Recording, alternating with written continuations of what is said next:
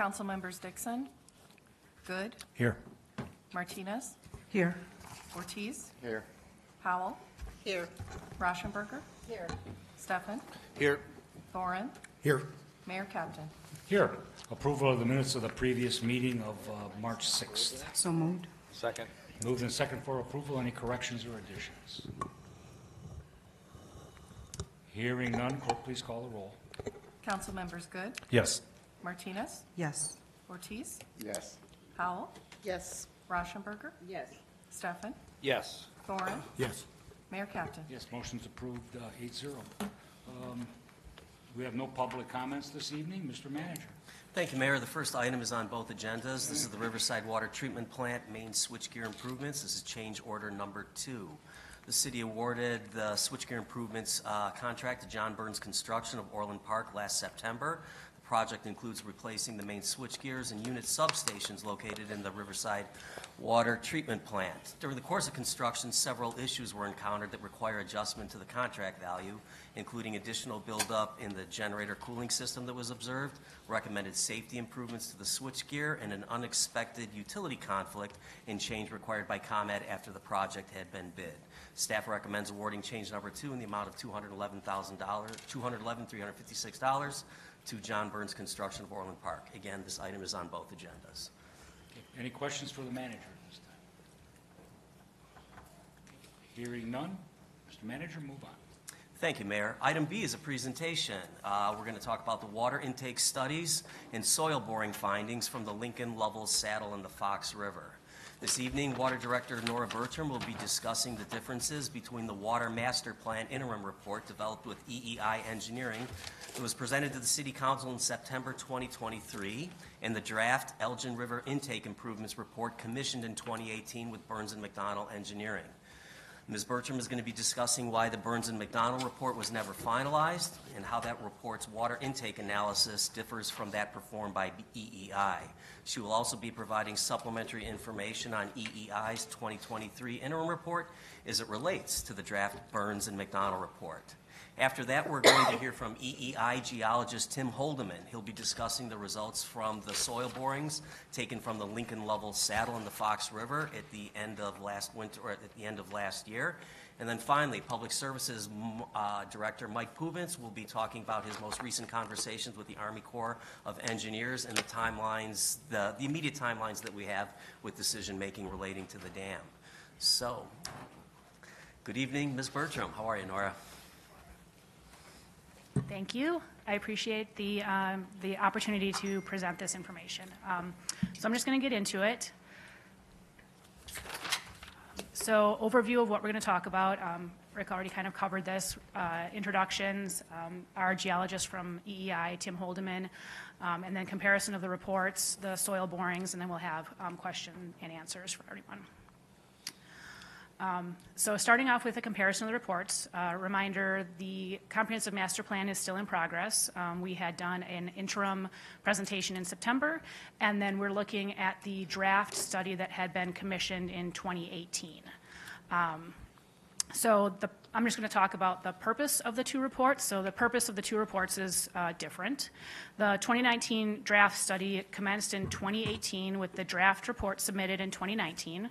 Uh, The purpose was to propose alternatives to address the siltation concerns at the intake. Um, Prior to 2018, basically ever since Riverside had been constructed, we've dealt with siltation at the intake.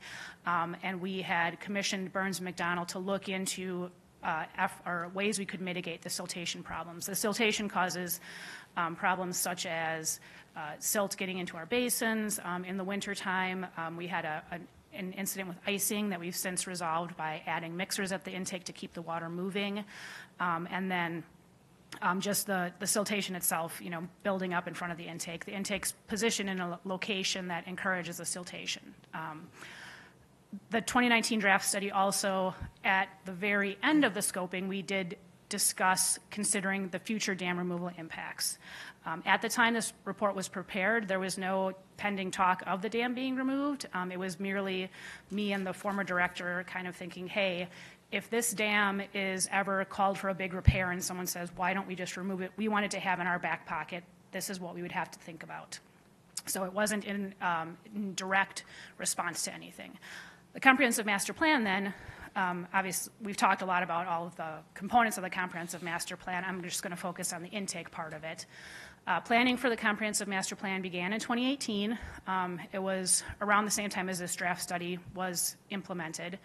Um, the this agreement for the comprehensive master plan was signed in August of 2022 with the interim presentation in September of 2023.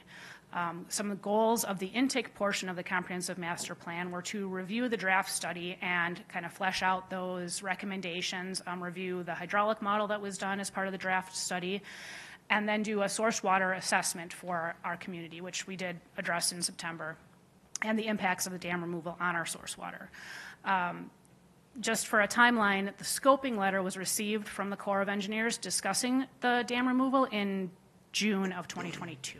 So right before the comprehensive master plan kicked off, but after the Burns and McDonnell study was, was submitted.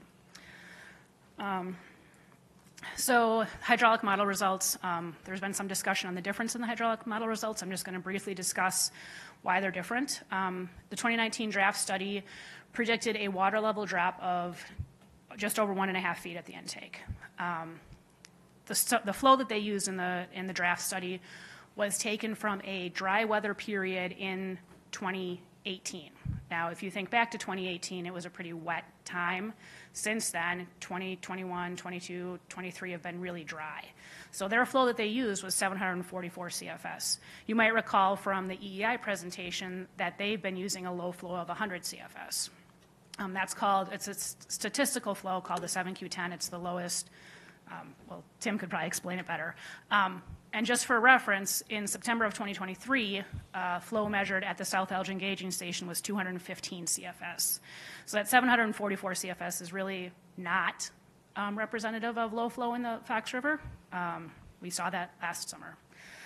Uh, And then the downstream water surface elevation, and this gets into hydraulic modeling. Um, For those of you who care or know about it, hydraulic models are built from the downstream up, and there is a, a boundary condition at the downstream, kind of a starting point, where um, you start there and then you build up and you calculate how the water surface level raises from that. So the boundary condition that Burns and McDonnell used, used a 10-year flow level at the Kimball Street Dam, which was a flow, equal to a flow of almost 7,000 CFS. So 10 year is a, a flood, right? Um, Had they used a water surface elevation equivalent to that 744 CFS, um, their boundary condition would have been seven and a half feet lower than the one that they used. So it was, I mean, that was a mistake. It was not uh, an accurate representative of, or representation of what should have happened.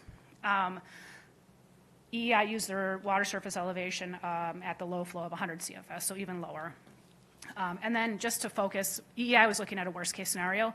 We have to look at worst-case scenarios. We have to be able to provide water in a drought. So that's the difference between the two hydraulic models. Um, Next, we're going to go through recommendations. So again, 2019 draft study was prepared to address siltation. Um, Several of the, the options that they presented um, included coarse air bubble diffusers, rock groins, um, and annual dredging. Um, Dredging, it was roughly every nine months is what they estimated. Um, And those prices ranged from 4.3 million to 101 million dollars over the next, uh, dredging was over 20 years. Um, So, you know, significant difference um, in prices. The bubble diffusers and the rock groins, obviously on the lower end. The goal of the rock groins would be to guide the channel over. The goal of the coarser bubble diffusers was to move the silt away from the front of the intake. None of those addressed the dam removal. Those were strictly um, designed to address the siltation issue. They would be dependent on a flow in the river that did not lower the river intake level. Um, Then they looked at a really conceptual plan for relocating the river intake just across the river from Riverside, basically on the bike path um, and on top of our wells at Slade Avenue for $13.8 million. Um, What they did, I just highlighted a statement in their study. Um, Removal of the Kimball Street Dam would have a major impact on the sustainable use of the river intake. So that was a quote from their, their report. Um, The comprehensive master plan then, as was part of their, their scope, reviewed some of those, um, those recommendations. Uh, They did, again, the rock groins. They looked at extending the intake pipe into a deeper part of the channel, which would work to, uh, the rock groins, again, to address siltation. Extending the pipe would um, help with siltation if you get the intake out of the silt, but it also is dependent on that water level staying high enough to draw into the intake. It doesn't work if the water level's low. Um, Armoring the saddle, I'm going to let Tim talk about the saddle, but that was um, two to six million dollars, and that was really dependent on the saddle being able to be armored. Um, And then annual dredging, um, they actually looked at that 92 to 101 million, and they um, thought that the volume that Burns McDonnell was using was a lot higher than it actually needed to be. That's why the numbers went down. And then the relocated river intake, um, they used uh, inflation, and it got bumped up to $18.2 million. Um, We should note that now we're in the process of getting a project together to firm up those numbers, and looking at the location that had been proposed straight across the river from Riverside isn't super practical, so we're thinking it's going to have to go further south, which is probably going to increase that cost even more. And that's why you've heard numbers going up from that $18.2 million. And then a quote from their comprehensive master plan, "The dam removal impacts on the river intake, positives, improve habitat, improve connectivity, reduce sedimentation. The negative is it decreases the pool elevation." And with that, I'm going to turn over um, the presentation to Tim. We will hold uh, questions, if that's okay, till the end. So, thank you. Thank you, Nora. Good evening, everyone. Uh, As Nora mentioned, um, using the existing riverbed profile that has uh, an increase in elevation or a saddle was one of the most economically attractive alternatives that we were looking at. The idea is that even if the dam were removed, that this saddle would cause the water to back up and maintain the pool so that we could maintain the current river intake structure. So the question becomes, if the dam is removed, would the saddle remain or would it be eroded away? And so the way to um, understand that better is to do uh, drilling, uh, borings into uh, the riverbed and to characterize that material to see whether or not it would be uh, removed. So uh, we will start with an overall uh, map that shows the water treatment plant and the Fox River intake, as well as the Kimball Street Dam. The uh, shaded relief of the riverbed is shown, and it is colored so that the deepest part is light blue, and the shallowest part or highest elevation is the pinkish purple. Okay? So you notice right away uh, in the upper right of that um, yellow rectangle, there is a light blue area. That's a channel. That's a deep channel. And then also notice that from Kimball Street Dam uh, north, there's another channel coming up, that light blue. And then where those two would intersect is a darker blue, and that represents the saddle. That's the high point in that channel, from a deep channel to the north, up over the saddle, and then a deeper channel to the south. So let's look at a little bit more, uh, an enlarged portion of the map that's identified there in yellow. Uh, That's shown here, again, uh, the light blue on the north, to the north, and the light blue to the south. And the saddle, it is the high point of that uh, riverbed bottom. And we show on this then the five borings that were done. Those borings were advanced to 10 feet, RB1 to the west, 2, 3, 4 to the east, and then RB5, uh, not within the line, but in an area where, again, there was a higher elevation and we wanted to characterize that material. But our primary focus here was to collect sediment samples of the river bottom along the saddle. And so you see that these borings are right on top of that saddle. This is the same information, but not colorized. Rather, it's showing the elevation. And so out by RB5, you see the elevation is about 708. So the water level at that time was 710.8 or so. That um, river bottom is 708, so two and a half feet of, of water depth right there, very shallow. Uh, and then over uh, by the transect, it's a little bit deeper, four to five feet. So relatively shallow and not a lot of relief uh, in that, uh, along that transect, one through four.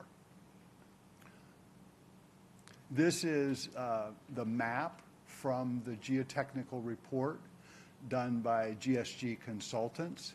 They are a geotechnical engineering firm. Uh, They had uh, the drill rig and the barge, um, and they had two geologists on site, geotechnical experts, that logged the samples and recorded the information that I'm uh, going to share with you now. So this is uh, the boring uh, from RB1. That's the boring to the west. And the location map is shown on the upper right. The top of this boring uh, shows general information. It was done, the boring was taken in mid-December, uh, if you recall that. And it was uh, using mud rotary techniques to advance the drill hole. A geoprobe was the type of drill rig. Um, It shows the elevation there, 710. That is the water elevation, along with the size of the hole, three and a quarter inches. As we go down into uh, the, the information, we have uh, left to right, we have the depth. So that's the depth from the top of the barge. So there was a little bit of air, and then we into the water, and then into the sediment. Then there's the graphic log, and in this particular log, we have a foot of sand, and that's represented by the dots. And then we go into about four and a half feet of organic clay. That's represented by the hor- horizontal dashes. And then under that was a gravelly sand. So there's the sand that's stippling again, but this time you see the larger uh, circles or irregular uh, forms. That's the gravel. So gravel is a little bit bigger than sand, right? It's uh, uh, like pea gravel is, is the size of a pea. Um, So that's, that's gravel. The next column is a description of that material. And so that's where we get some insight uh, into uh, what was found. And I'm going to skip that just for a minute and go to the next column, which is the sample number, sample type number. SS1 is a split spoon. This is a two-foot-long um, uh, tube that has two halves. That's why it's called split spoon, because you can open it up. And so you put it together, and then you advance it using a standard 140-foot weight that's dropped 30 inches.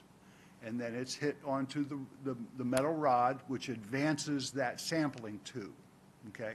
So this is all standard, it's called the standard penetration test, uh, and it's documented through the ASTM, or American Society of Tes- Testing Materials, and it's done the same way everywhere so that we can compare things. So then you have the next column, which is the percentage of recovery. And so out of that two feet, how much material was recovered? So if it's 50%, then that spoon would have recovered 50% of the material. And then the last is the blow counts, and that's the number of uh, drops of the hammer to advance by six inches. So you see, uh, that first one is zero, zero, zero, zero.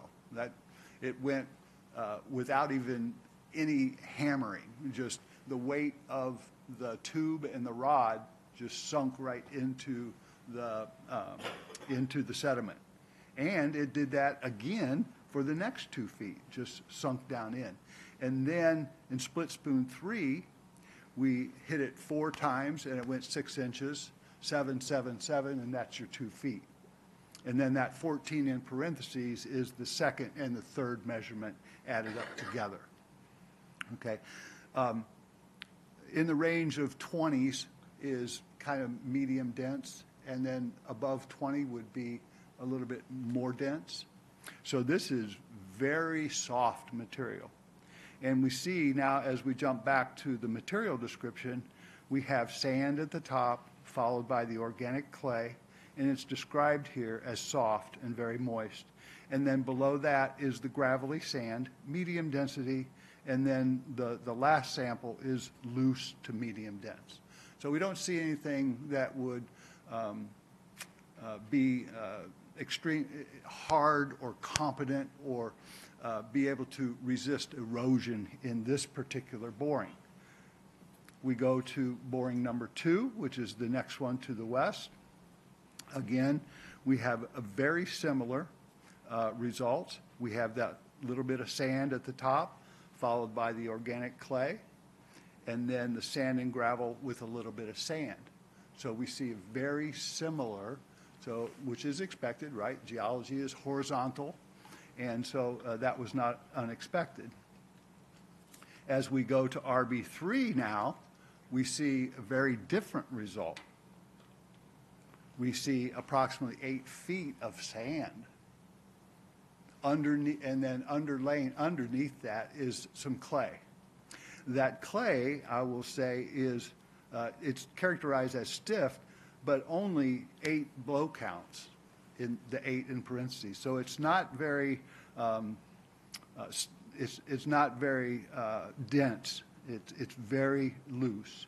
Okay, and so that that is the one uh, result that was uh, much different than the other two. Then we go to RB4, and we see again that same characteristic of this time instead of clay, it's silt underlain by clay. Silt is just a little bit uh, larger grain size, still very small.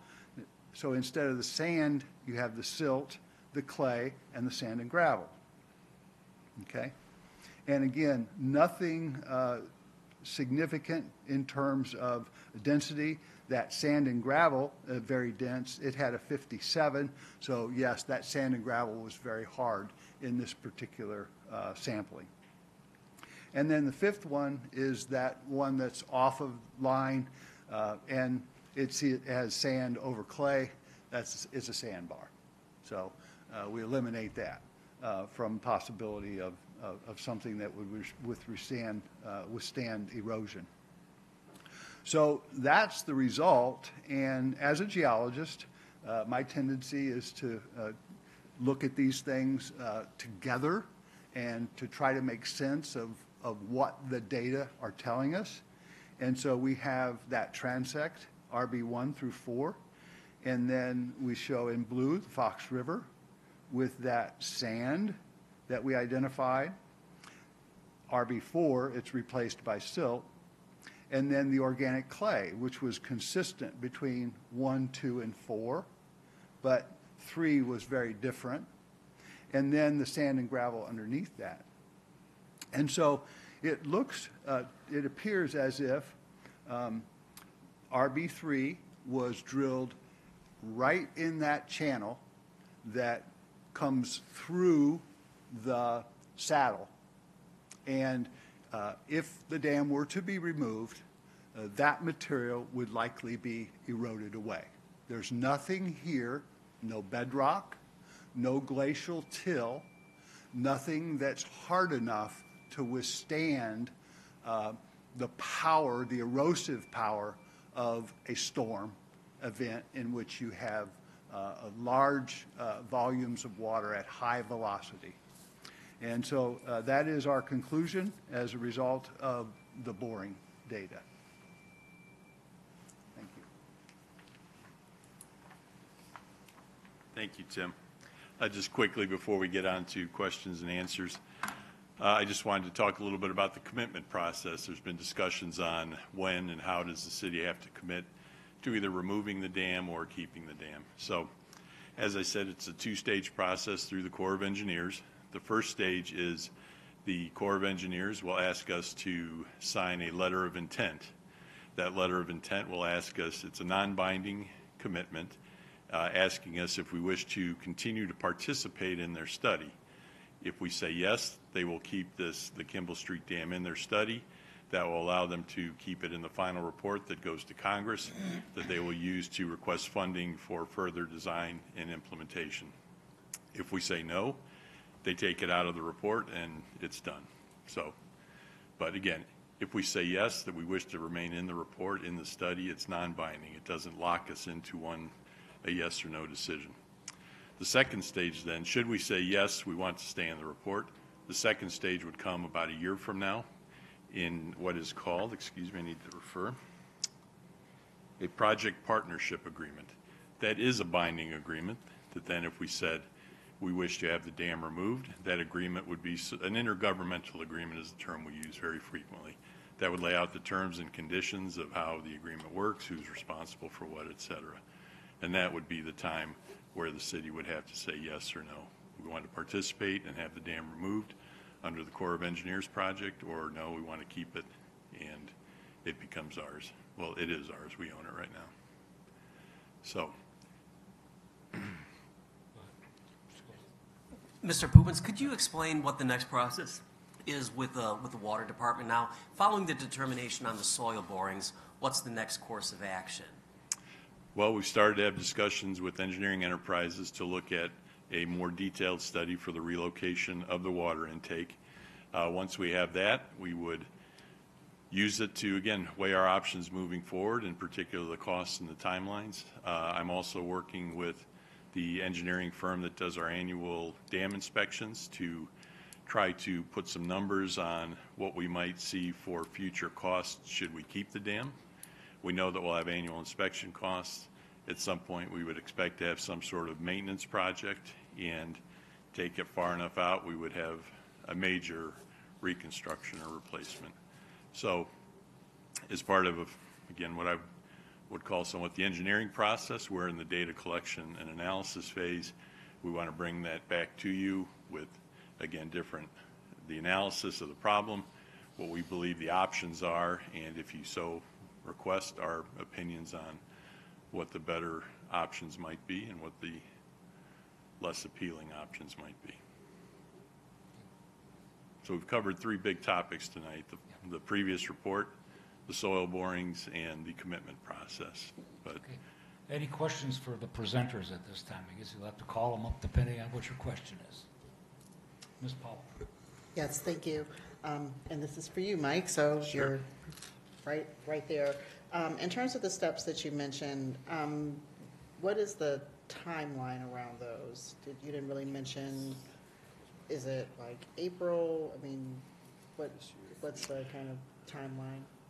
I believe it's reasonable that we would be bringing an engineering services agreement to you by May. for- and With EEI? for- With EEI, and would want to have the study substantially complete by midsummer. I'm gonna, I, I- I don't want to give a firm date because we haven't quite nailed that down with them. Uh, For the dam, it's the future dam costs, should we keep it? Uh, I hope to have an item on the next cow agenda. I'm working with Collins Engineers on a scope of services and again, another engineering services agreement for them to put that report. So uh, April for that, and then I would say probably, again, early summer when we'd have that. So I think as a team, our goal is to have a significant amount of these questions answered by summer. That's a pretty broad target, I know, but And in terms of the letter of commitment, the non-binding one with Mm-hmm. the Army Corps, that time frame was, They told, when I, I spoke to them last week, they said they hope to have that to us uh, for discussion in April. That was April. And Yes. then the next one that was binding is, spring of 2025. I don't have a firm date for when that would be required. And just uh, one note on the letter of intent. So the letter of intent has to be signed by the owner of the dam. So you may have heard that the Illinois Department of Natural Resources has already submitted some of those letters to the Corps of Engineers. I think Geneva, uh, there was an article in the paper recently that uh, the IDNR has, has already signed the letter of intent for Geneva. It's because IDNR owns, the state owns that dam. Because we're the owner of the Kimball Street Dam, we will need to sign a letter of intent, should, if we choose to do so. So the owner of the dam has to sign it. So they're working on a draft, they'll get that to me, and that will be brought before the council for consideration. Thank you. Okay, anything else down this way? Questions? Uh, Ms. Rauschenberger? Uh, Yeah, thank you. I think we're all learning more about uh, water and hydrology and dams than we ever thought. Um, My question is about, one is about, um, uh, w- one question is where the um, intake is now compared to the saddle? Is it in the saddle? Far from it, or,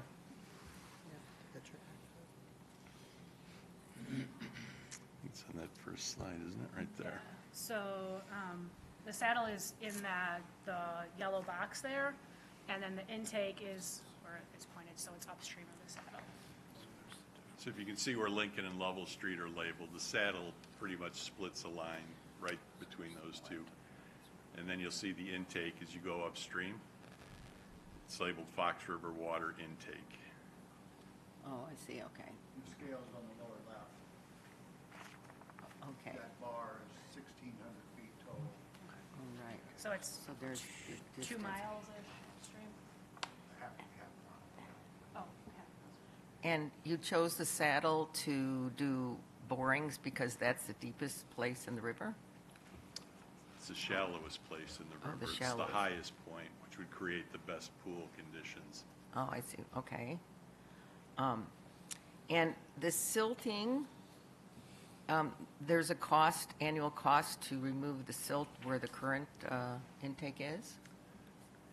Um, So currently, we are not doing any um, removal of the silt. That was, we were looking at solutions for our silting problem. One of the, um, we haven't dredged since the early 2000s. The dredging, as was demonstrated, would have to be done every nine months to keep up with it. It just kept filling in. That's why they stopped dredging originally.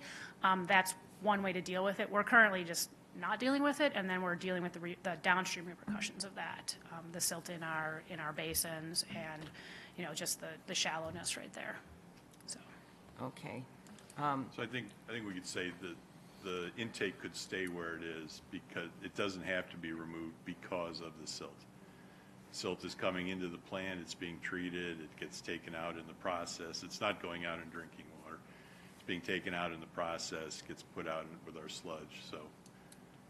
And I is there? I think the cost that was provided, I would, I would categorize that cost as somewhat of a comparative. They gave other options to help us uh, mitigate the silt problem, or you could dredge at a cost of, I don't recall the number that Right. they gave. Also, but there, is there a cost now to mitigating that problem? We have not implemented any mitigation strategies. Oh, nothing's been, so nothing's been done since that 2019 Burns and McDonnell's um, report? right, so when they submitted the report, um, and then we were in the comprehensive master planning phases, and we realized, you know, this is, if we're going to be addressing this issue, it's probably something that should be included in the comprehensive master plan. So we rolled it into that to review that intake study and look at the alternatives, and then, you know, add that to the comprehensive master planning effort. Okay. And if we, um, if you considered looking for um, the next location of uh, a water intake, um, is there, you know, looking at your elevations, et cetera, is there a, a next location you might be looking at that's obvious? The general location is on the opposite side of the river. The final location is to be determined. In the, in the draft report from Burns and McDonnell, it was kind of a general location because of the channel is deeper and will avoid siltation.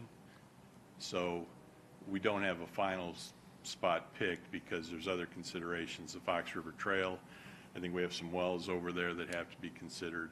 So, as Director Bertram had said, that'll be part of the study with DEI to try to better pinpoint where that would be and what costs will be associated. Maybe we have to relocate the trail, maybe it impacts a well. That- So, and again, that, that wasn't really the scope of the Burns McDonnell. I'm not saying they left that out. They weren't asked to define it that. quite that well. Right. And, I, I mean, there, you're not saying that there is no solution. There is somewhere a solution. It's not like engineering, engineering wine, wise, we cannot find um, an intake that's appropriate in the Fox River without the dam.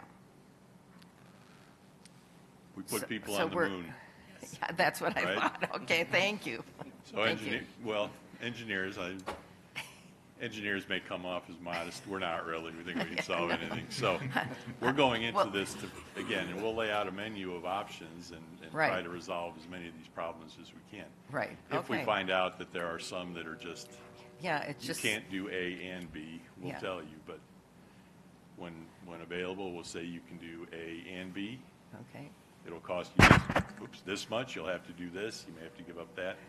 Right. So there'll be some, some give and take and pluses and minuses and Right, so, I, Mm-hmm. we know that uh, keeping clean water costs money. We've, we've understood that now um, for many years and into our future. But thank you very much. you're welcome. Anything else? Sorry, I don't mean to be. Mr. Steffen? I, I've got a couple questions. Thank you, uh, everybody, for the presentation. I, um, Nora, this might be a little curveball. If you don't have the answer, I- I'm fine. But um, in hearing the presentation, I went back through the materials, and City Manager Kozal got us a summary of the repairs done to the water intake in the past. And in 2022, we spent over a million dollars, and one of the main things we did there was a replacement of the West River intake bar screen. And then in 2019, it was $764,000, and that one included a replacement of the East River intake bar screen. So Correct. to a layperson like me, that makes it sound like there's an east intake and a west intake. Are those on the same structure, just opposite sides or next to each other? or- Yeah, they're, they're right next to each Tim's- other. Tim's nodding his head. Yeah, there's, too. there's Okay. actually, um, if you, you look at the intake, there's four holes in the side of the building, um, the building up there, there's four holes in the side. Two of them are, we are on the east side of the building, and two of them are on the west side of the building, so, um, there's four gates, two per side, and, yeah, it's just all in one building. So we just refer Okay. to them as the east and the west in, as they're located in the building. To a layperson like me, does that mean like east, I'm, because I, I live near there, I, I walk the trail, I look at that from across the river. So the east intake is like facing upriver and the west intake is facing downriver? Um, As you're looking at that structure? Yes, yeah, so the east, east intake is closer to Willow Lakes Estates, and the west intake is closer to Judson. University? Yeah, um, they're, they're both, they're all right on the front of it, they're not aimed anywhere or anything. Okay, they're not facing upriver and downriver? No, They're on they're- the, they're on the river side of the structure, just Correct, upriver yeah. or downriver from each Yep, other? Okay. Yeah. That helps, thank you. Mm-hmm. And, and just another question, I mean, assuming that we don't take the dam out, so all of the discussion about the water levels are gone, we still have a intake problem we have to deal with, is that fair? The, the siltation at the intake, Correct. I'm, yes, it's an issue we would like to deal with. I don't know that it's required. Um, it, we don't have any, any litigation requiring that we do that. It was more of an operational, you know, Right. improvement. We're always looking for ways to improve our operation. So, yeah, it'd be great if we could get the silt problem out of the, away from the front of the intake and then we don't have to deal with it. But, you know, it's, it's not, it's not critical. It's not like the next thing on my list. A lot of stuff on my list that has to be deal, dealt with, and that's, be nice, nice to do. Um, it's why we're planning for it, why we included it in the comprehensive master plan. Great, okay, thank you. Those are all the questions. Okay. Anything else? Uh, Ms. Martinez? Thank you, Mayor. I guess this question, like, I was kind of surprised. I don't know why I thought that maybe um, it would be harder. I didn't realize that the soil would be so soft like that. Uh, So that was kind of surprising for me. And the concern is, um, Because it's soft like that, I just assume that a dam uh, is there to hold the water. If it's removed and it goes with the flow, then is, is that a concern? Because um, the soil is so soft like that? Is that something that uh, is concerning? And, and if it is. You mean for the length of the river, the full length of the river, or For right the there? length, the width, for anything in the river. Yeah. Can I show the thing? So we actually, I think, had included in here some slides from the previous presentation that showed, so this is um, the dam, the bottom of the river, Okay. right? So it shows, the top one is showing the dam, and it shows the saddle, and it shows the intake. The bottom one shows, or the middle one shows if the dam removed and the saddle remains. So that would be the saddle not getting washed away when the dam's removed. And what it does with the intake. This was from our September presentation. And then the bottom one is if the channel is allowed to erode away, which, you know, there's some pretty soft stuff there, so there's really nothing saying it's not going to erode away down to the natural channel level. So there's nothing holding stuff up.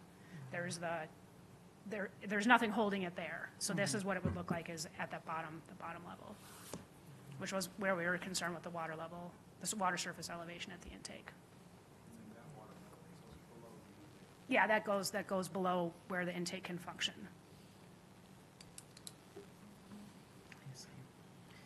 I. Um, I think that what um, Councilwoman Rauschenberger said is we spend so much water, I mean, so much money to clean the water, to keep it clean, and that's basically what the city does just to make it drinkable.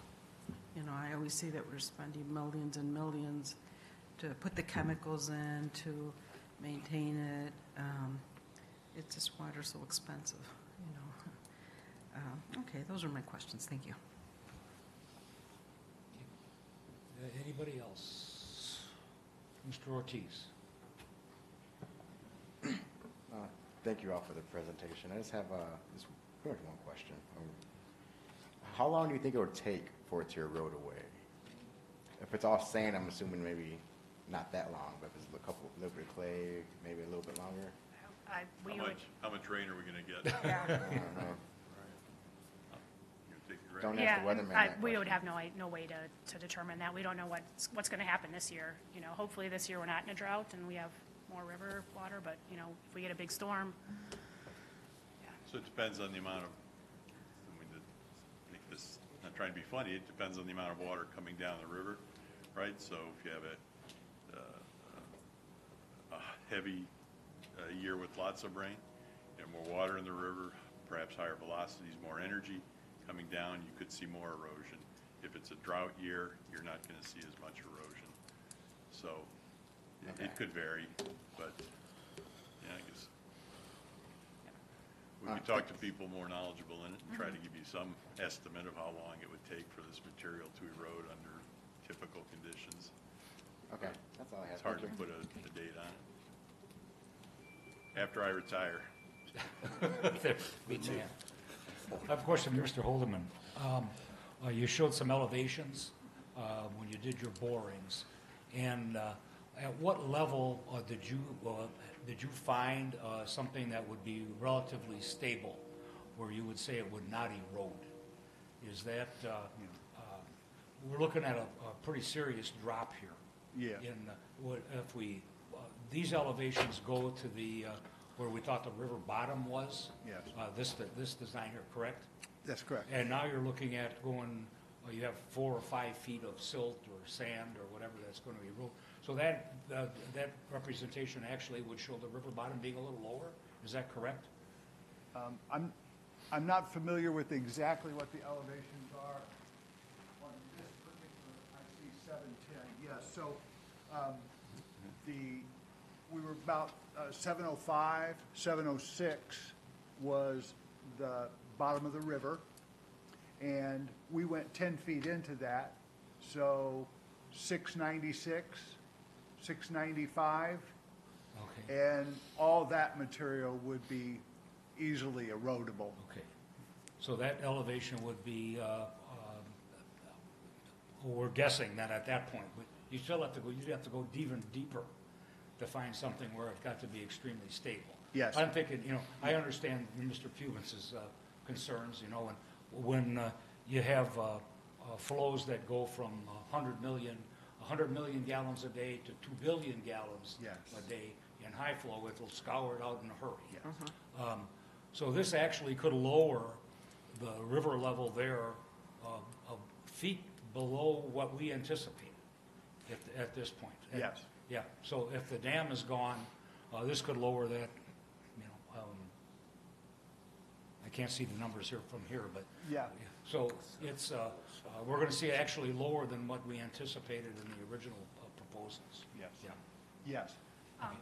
You- Note that it's not going to go down below where the, it's downstream of the dam, so it's not going to, you know, go any lower than that, so the downstream control will still be the same, so. Yeah, it could go down to that level at what the dam is. Yeah, I at mean, that we s- point. And then, uh, then I start to think, well, where do you put the, do you have to artificially create something to have the water intake? Yeah. I think that's the, uh, to have enough water to, uh, uh, back it up, you have to put a, uh, uh, some kind of a structure there or dig a hole and, uh, and allow for water to be captured there. Otherwise, it may not be deep enough, uh, to, uh, to fill the pipe, fill a section of the pipe. Okay, lots of engineering problems. Mr. Dixon, you haven't spoken yet. Thank you. Uh, One question I guess is, uh, you all may be able to share this, um, but how much of what we're discussing tonight um, would or would not be affected by what our neighboring communities do that are also along the river when it comes to dam removal? Um, You know, does that, I'll just leave it open for, does, Or you're, I think you're a little more versed on flow hydraulics. You want to talk about? Um, so when I talked about the hydraulic model and the downstream control, um, so the dams themselves sort of create these mini areas, right? So the removal of, say, the South Elgin Dam, if that would, um, that's not going to impact us upstream of the Kimball Dam Right. because it would impact the reach between the Kimball Dam and the South Elgin Dam, but not necessarily us up here. So um, as far as the impacts of all of the dam removals, I guess I'm hesitant to say. I mean, I would think you pull them all out, does that so lower the Fox River um, level that it does impact? I guess I, I don't know exactly. I mean, we're, we're looking very specifically at our reach. So the Fox River is very um, flat. It's not really steep, so I don't know how much the downstream impacts would actually reach up to us. okay. Okay. A- And, you know, any of the dams before us, so north, coming this way, so if, if the southern dams are not going to um, probably affect us, is what I, is what I gathered, right? But, you know, um, any possible removal of dams um, up the river, being north, that could remove their dams, could that possibly affect what we're talking about? Um, I would say that dam removal upstream wouldn't affect our hydraulics, but it would potentially improve our water quality. Um, as the impoundments upstream, you know, which similar to our dam, right, they collect water, sediment and stuff, so as those are released, then we're not getting that water down, that makes sense, so, Yeah. you know, it would be advantageous to us to have upstream ones removed, um, but as far as hydraulically, that wouldn't impact us. Okay, and so then are we, you know, keeping track of what's happening with those other communities and what they are or what not, uh, are and are not doing?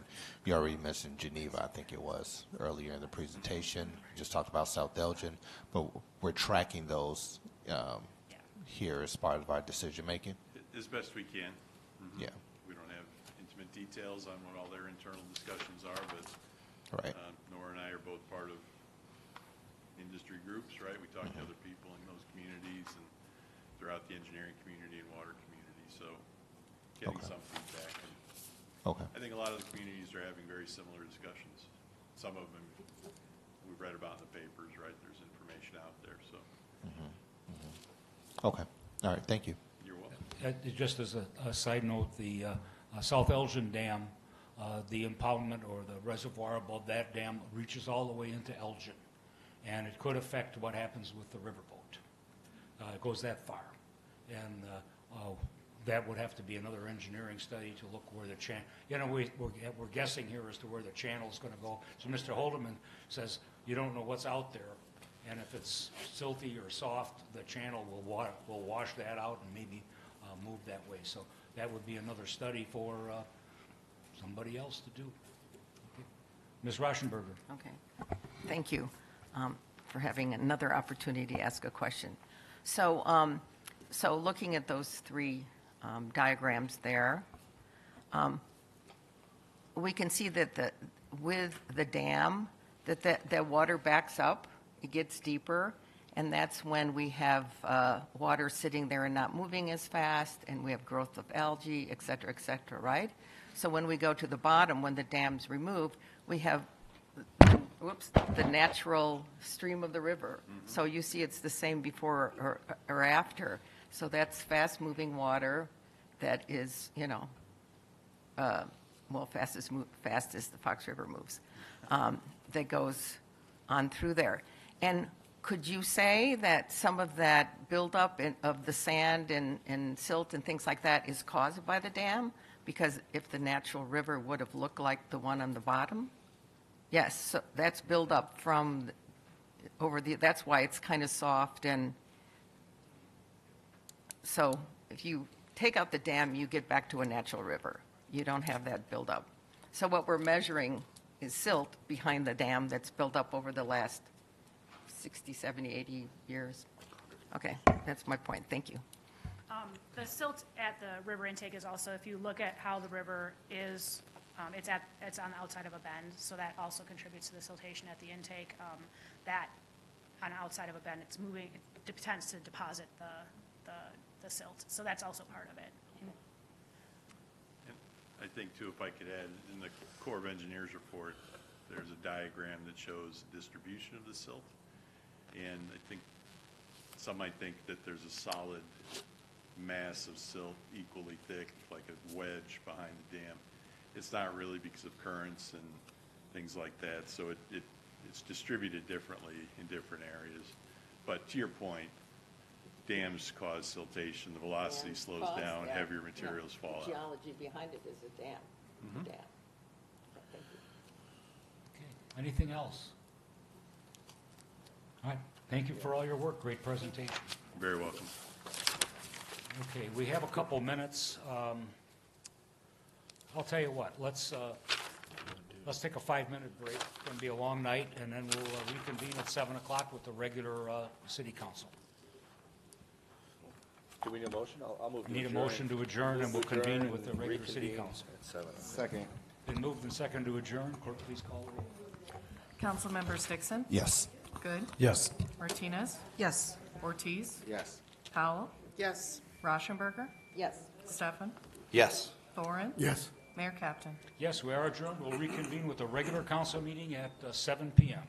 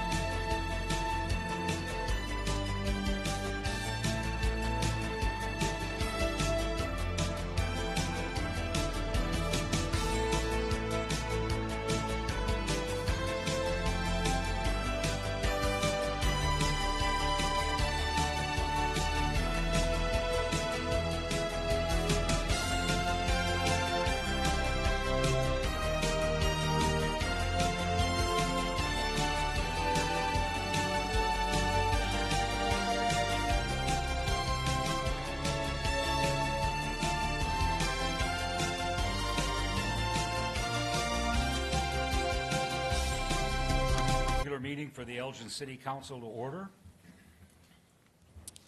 for um, March 20th, 2024. Please join me in the Pledge of Allegiance. I pledge allegiance To the flag of the United States of America and to the republic for which it stands, one nation, under God, indivisible, with liberty and justice for all.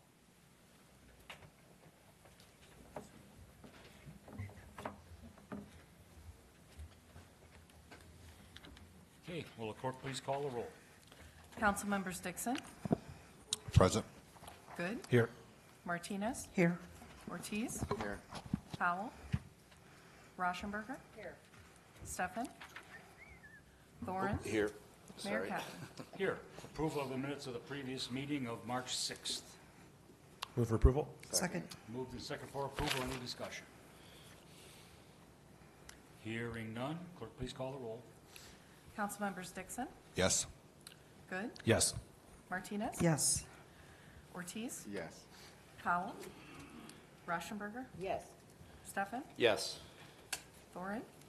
Mayor Kaptain.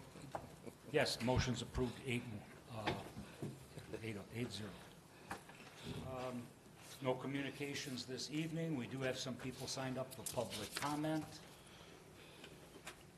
And I give them a choice of, uh, we're, uh, signing up, uh, most for the Citizen Review Board.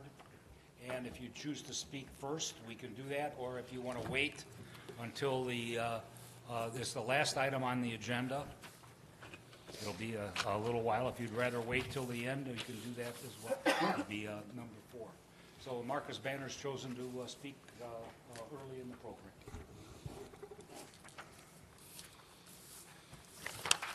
Good evening, Mr. Mayor, Council. I'm Marcus Banner, the People's Champ, and I'm from Ward One, one people, one voice, one community. Back in two thousand and eight, I came before this council seeking an independent review authority. Back then, I would have accepted this proposed review board as is. But that's because I was naive to politics and gullible to the way institutions and institutionalized politicians create the illusions of giving power to the people for short-term political trophies. All the while, same institutions, same individuals with political titles continue to make the ultimate decisions regardless of the will of the people who are impacted. The purpose of seeking the independent review authority is to give power back to the citizens, to hold officers accountable, as well as determine who is and how our community is policed. This proposal is more of the same dog and pony shows put in place by many cities across the country since George Floyd, only to have the same institutions making the final decisions against the will of the people impacted, which keeps us at the mercy of institutions that will punish an officer for pursuing a love interest and protect a murderer like Jensen, who has been allowed to continue his reign of terror on women of color and women with disabilities, as well as collaborate with the so-called independent investigative firm to push false narratives to discredit the women he is victimizing. So at the end of the day, if this proposal does not give the authority to start investigations as the board sees fit, based on concerns brought forward by the community, and have the authority to look at the, all footage, all reports, raw, untouched, or redacted by law enforcement, as well as ultimately be the binding arbitrators, then this board is obsolete. I've made mention in the past that this proposal in its current form could be incorporated into the Human Relations Commission because I believe there's no need to create the illusion of something new. If this council decides to incorporate this framework into the Human Relations Commission, we would ask that new members be added that fit the demographics and live in the area that have the most police presence. This is because we believe they have firsthand insight into the good, the bad, and the ugly. to Mr. Dixon, I'm going to tell you publicly, like I told you privately back in 2019. If you don't have the courage to fight for this board and to form beyond its, the comfort zones of those in power, then get out of the way for those of us who will. Because ultimately, there is only one thing worse than not acknowledging our forgotten communities have been victimized, and that is creating the illusion that the means of stopping it have been put in place. This is not the time for take what we can get. This is not a time for short term political trophies. This is the moment of truth. In the words of Eddie Kane Jr., Mr. Dixon, if we're not going to do it right, then let's not do it at all. Now, lead you as I always come, as one people, one voice, one community. Thank you. Thank you. Uh, Sherry Liskey, would you like to speak now, or would you like to wait?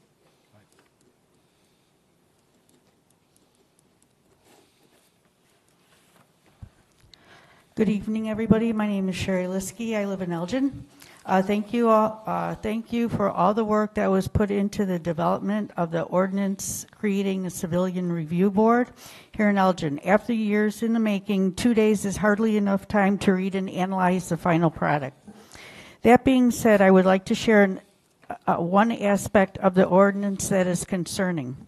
Uh, Well, actually, Marcus said it better than me, but that's, okay. So a major purpose and duty of the CRB is to provide input and recommendations regarding civilian complaints. That is until you get to the last page, which basically says that the board has to suspend action upon, okay, so this is right in this ordinance, upon the written request of the chief, the corporation counsel, or, or, or any law enforcement or prosecuting authority, the board shall suspend any action with respect to civilian complaint whenever the action could compromise an ongoing criminal investigation or an investigation into an officer-involved shooting.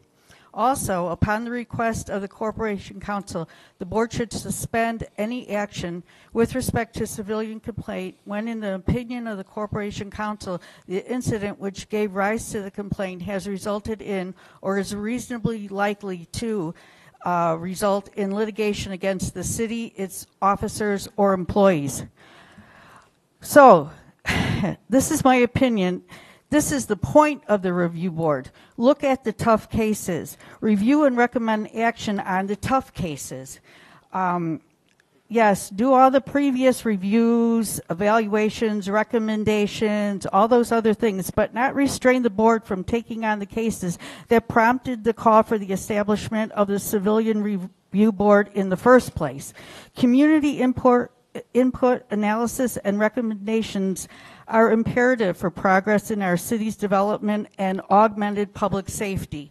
Yes, vote for a, a, a review board and establish a civilian review board, but let it do its job. Thank you. Thank you.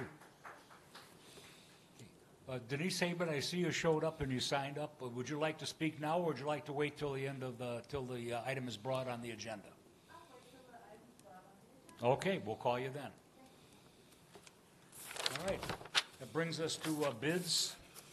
The First item is bid number 23-0638, 2024 Bridge Rehabilitation Project Rebid. Mr. Mayor, I'll move that we award this bid to Alliance Contractors, Inc. of Woodstock, Illinois, in the amount of $519,828. Second. Been moved and seconded, any discussion? Hearing none, clerk, please call the roll. Councilmembers Dixon, Yes. Good, Yes. Martinez, Yes. Ortiz, Yes. Powell, Yes. Rauschenberger, Yes. Steffen, Yes. Thoren, Yes. Mayor Kaptain. Yes, the motion's approved 9-0.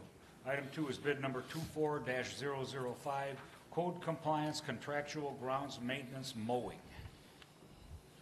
Move to award the bid to Alvarez Inc., not to exceed thirty-three thousand dollars for lawn service, or mowing services. Second. Been moved and seconded, any discussion?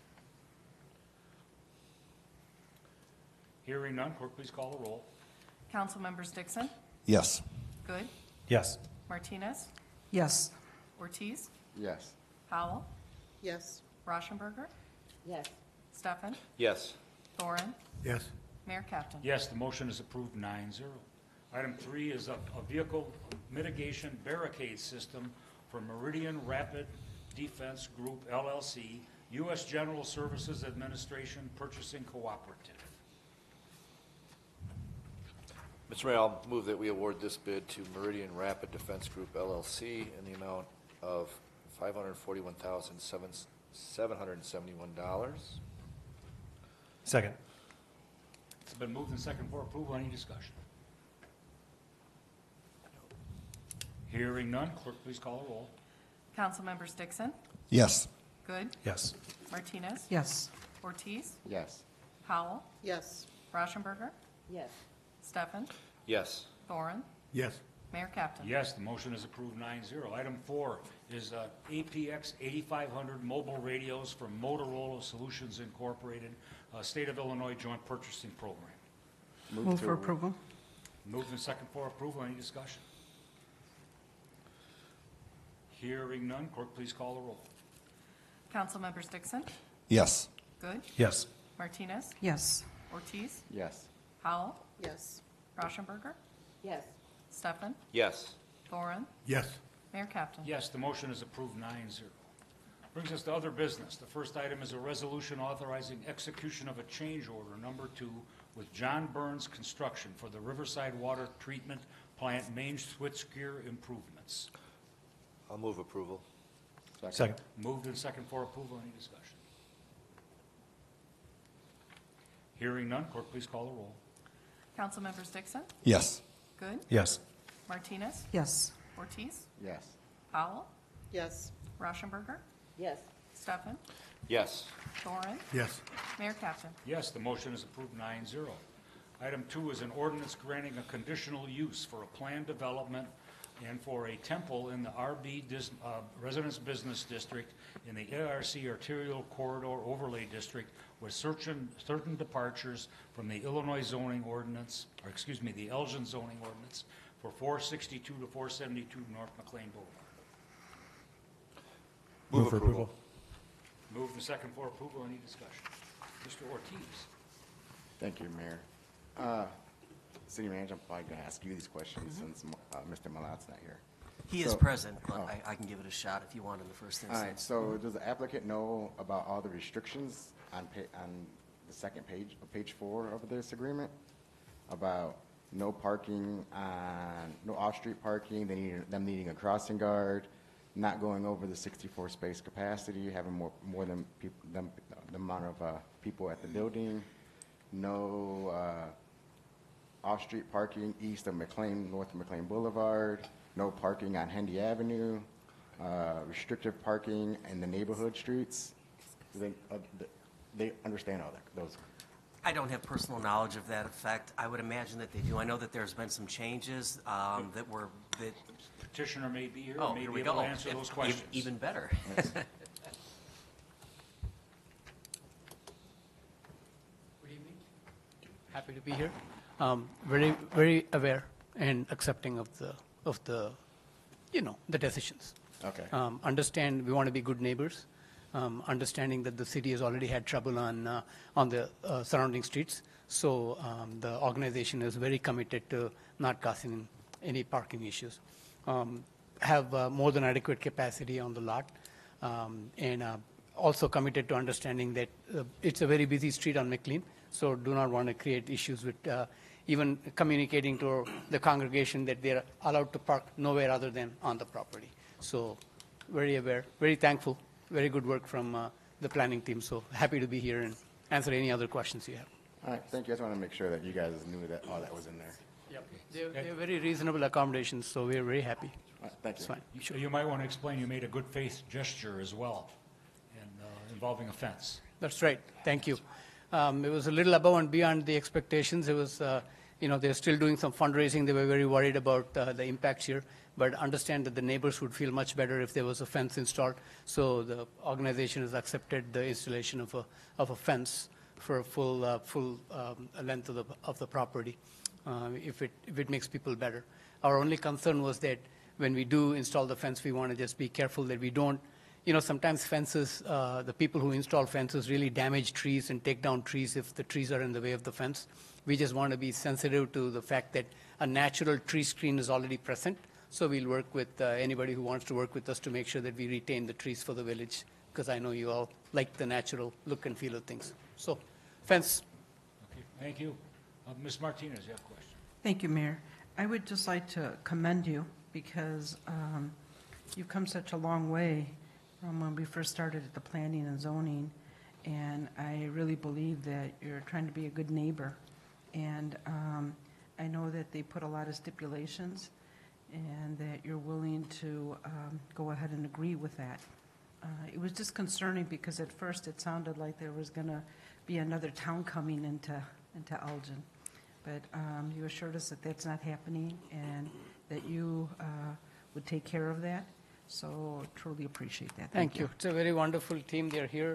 They're senior scientists in Argonne. There is a physician who comes to Elgin to work every day. She works at Sherman Hospital, so you have a very good board. They want to be good neighbors. We look forward to a, a wonderful uh, setting and uh, contribute back to the community and look for ways to contribute back to the community. Fair? Thank you. Thank you so much. We're all not, we're a non-profit organization, and we're all volunteers. Um, I'm Madhvi Rao. I've come to this board a couple of times already. I'm a physician at Sherman Hospital, and I've been practicing for about 18 years now. Uh, never had any issues. Uh, we've had various events in your own Elgin neighborhood. We've never had any issues with parking. We've always been good neighbors.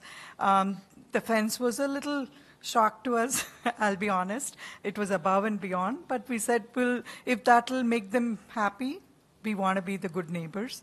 And we always want to make sure that uh, we follow whatever is needed. And we've been upfront and open with uh, the city planners and the zoning commission, and we'll continue to do the, so with the permits and everything else down the road.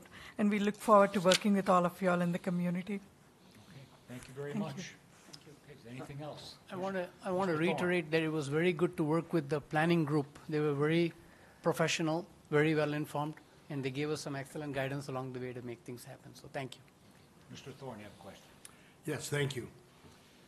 Uh, I am curious, I, I'm the one that, uh, that went back there and looked at it uh, initially, and I felt that there wasn't enough parking, and now I see all the stipulations. I'm wondering, do you have a plan if more cars do show up than you are allowed room for? What is your plan?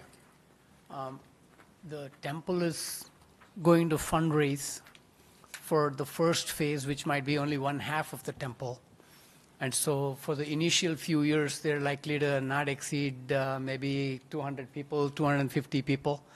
So the, uh, the, the village planning team uh, essentially asked the organization to project the future and said, go to the extent of your projection and put it out there so we can see the full extent. So we don't expect to get close to that number anytime soon.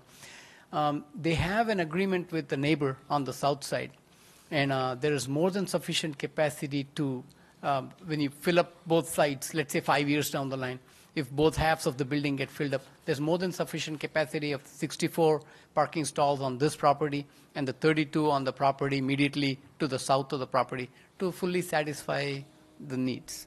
There's really no further need to go beyond. In my experience, though, as an architect, um, if there is an organization that that projects a particular um, you know excess capacity, it's always uh, come come down to the villages, let them know you have a special event, uh, talk to the neighbors, get a offsite um, police officers, reach the sheriff's department, make sure that everything is comfortable. I don't foresee that here, though. I think this is a much smaller congregation in my experience. And so I, I just don't foresee a situation where it's going to be exceeded at least in the next few years. Thank you. Ms. Rauschenberg? Yeah. Um, First of all, I want to thank you for coming to our community, and I welcome you. Um, I personally see this, um, these stipulations as much too um, um, difficult and, and, I, I mean, I, I don't see how we can tell people where they can park if you can't park on the east side of uh, um, McLean Avenue, for example.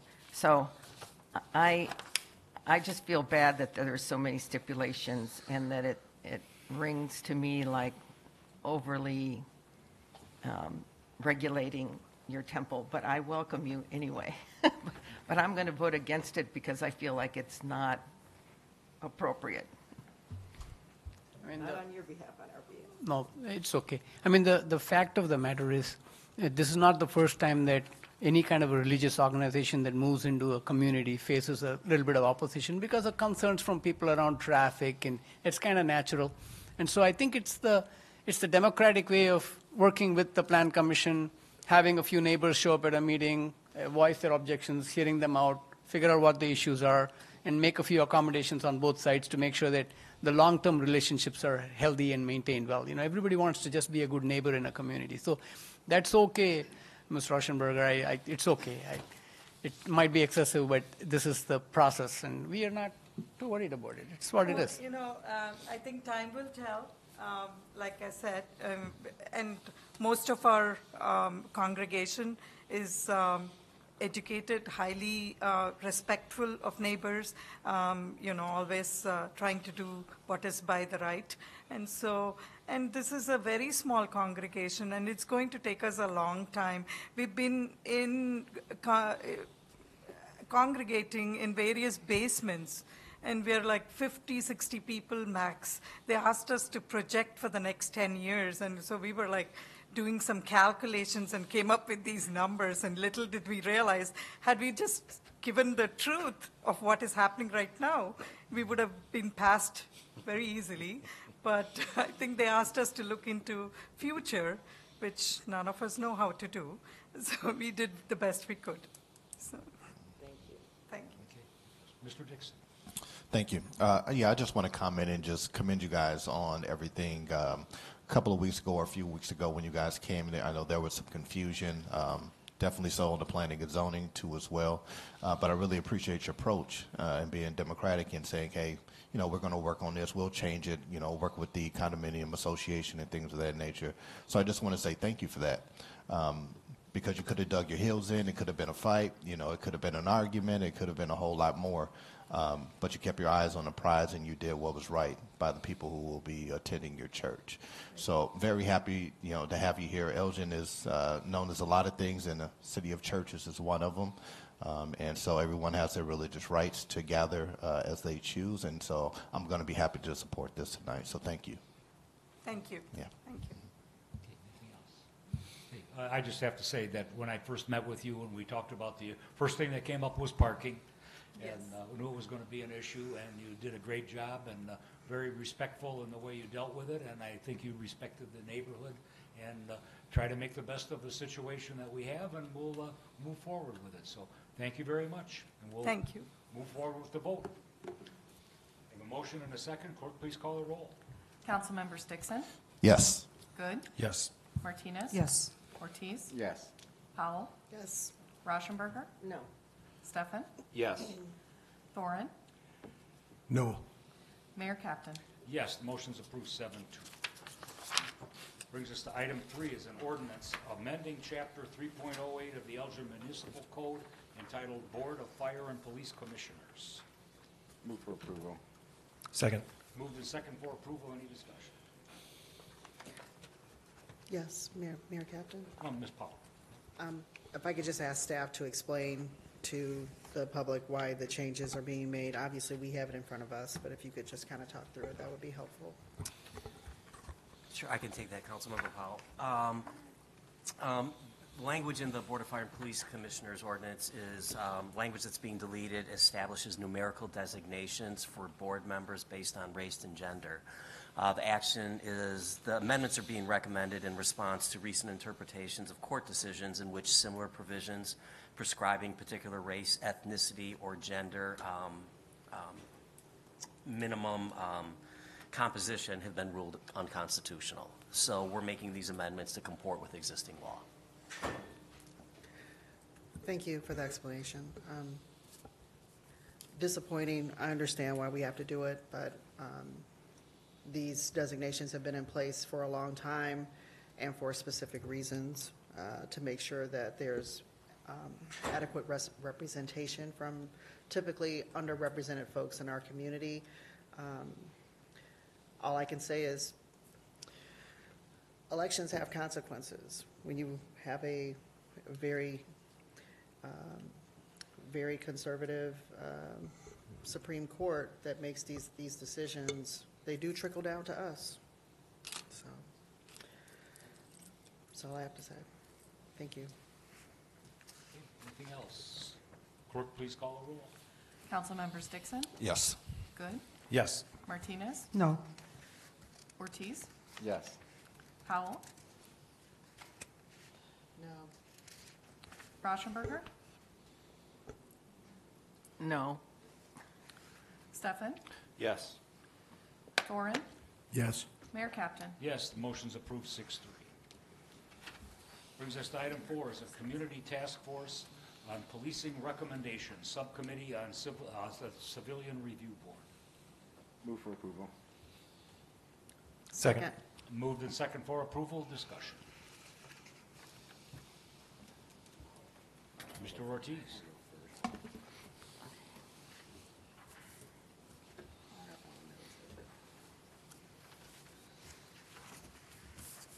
Uh, I think these might be for Chief Lalley. I'm not too sure.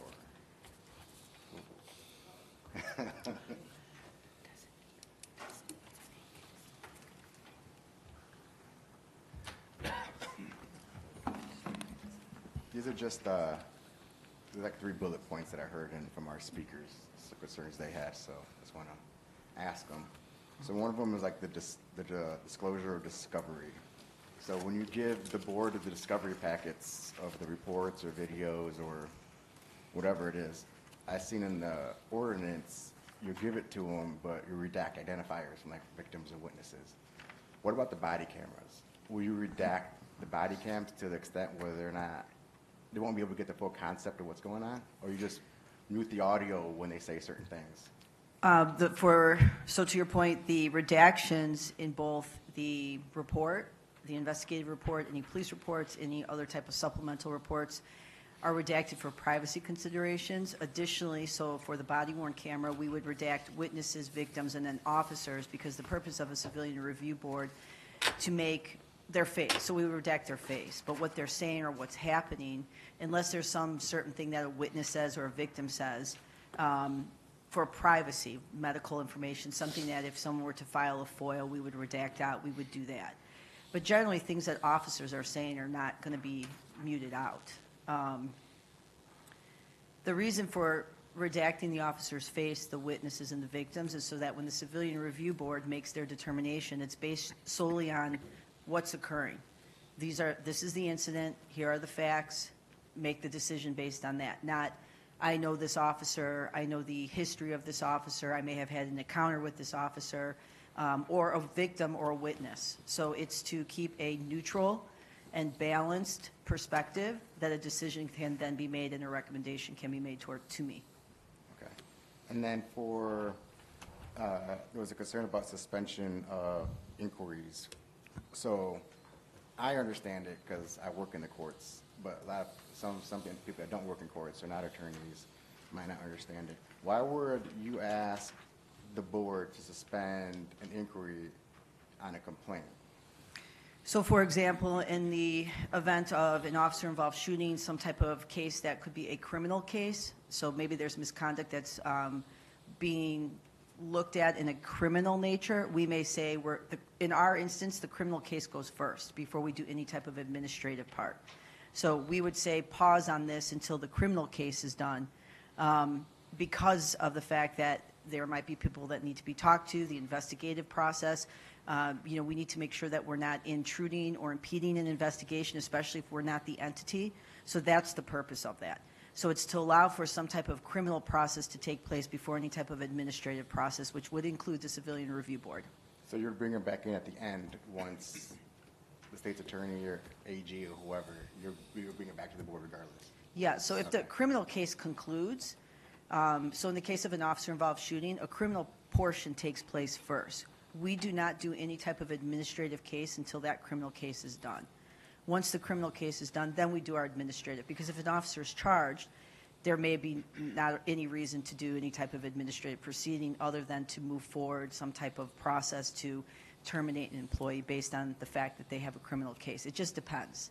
So this would allow us to say, this criminal process is taking place, let's just pause, let's see what this is. Once that part is done, then we can move forward with the administrative process. Okay, so the board will have a chance regardless? Yes. To look at it? Yes, it's just a, it's a temporary pause to allow for, um, you know, the second part where, you know, the litigation against the city, the officers or employees, I would defer to Corporation Counsel back on that part. Um, I imagine that the c- city wouldn't want us, you know, having conversations if it would impede that type of process. Yes, I mean, in reading this uh, provision, council member, uh, certainly if, you know, there's a threat of litigation arising from an incident, uh, if the actions of the civilian review board, I think, would uh, adversely affect the city's interests, I think we would want the ability to protect the city's interests. I think that would be important um, in any sort of investigation, giving the civilian review board the opportunity to review it at an appropriate time, but certainly not expose the city to any adverse risk in litigation. I think that's the purpose, and I would support that. Okay. And then uh, my third one, I think I heard one of the uh, speakers were asking about the makeup and the structure of the board. I see on the last page, I think it was the last page, that it would be members of the police union, a couple members of the police task force, and somebody, I'm trying to find it. It's like a makeup of different people on, doing the selection process. So can you like explain why you, how you guys came up with that idea? Yes. So there's two things. Um, The, the composition of the board, uh, initially when the ordinance was written, it had to be amended, uh, basically what City Manager Kozal just explained about the Police, Fire, and Commission. So that's that part. The second part is um, having a selection committee that's formed that would select the people that sit on the Civilian Review Board. Um, I had conversations with uh, Councilwoman Powell and some members of the task force. Um, when I was here, I think it was in March of last year when this first went up, one of my uh, main points I had said um, is that in order to have, for this to work, right, it, it's, you have positives, you have negatives. People might look at a city and say, why do you have a civilian review board? The police department, you know, is, it's a bad department. Um, there is that negative connotation with, that comes with this. The other side is transparency, accountability, involving the community, right? All the good things that I think everybody in this room, regardless of where we stand, I think we embrace that.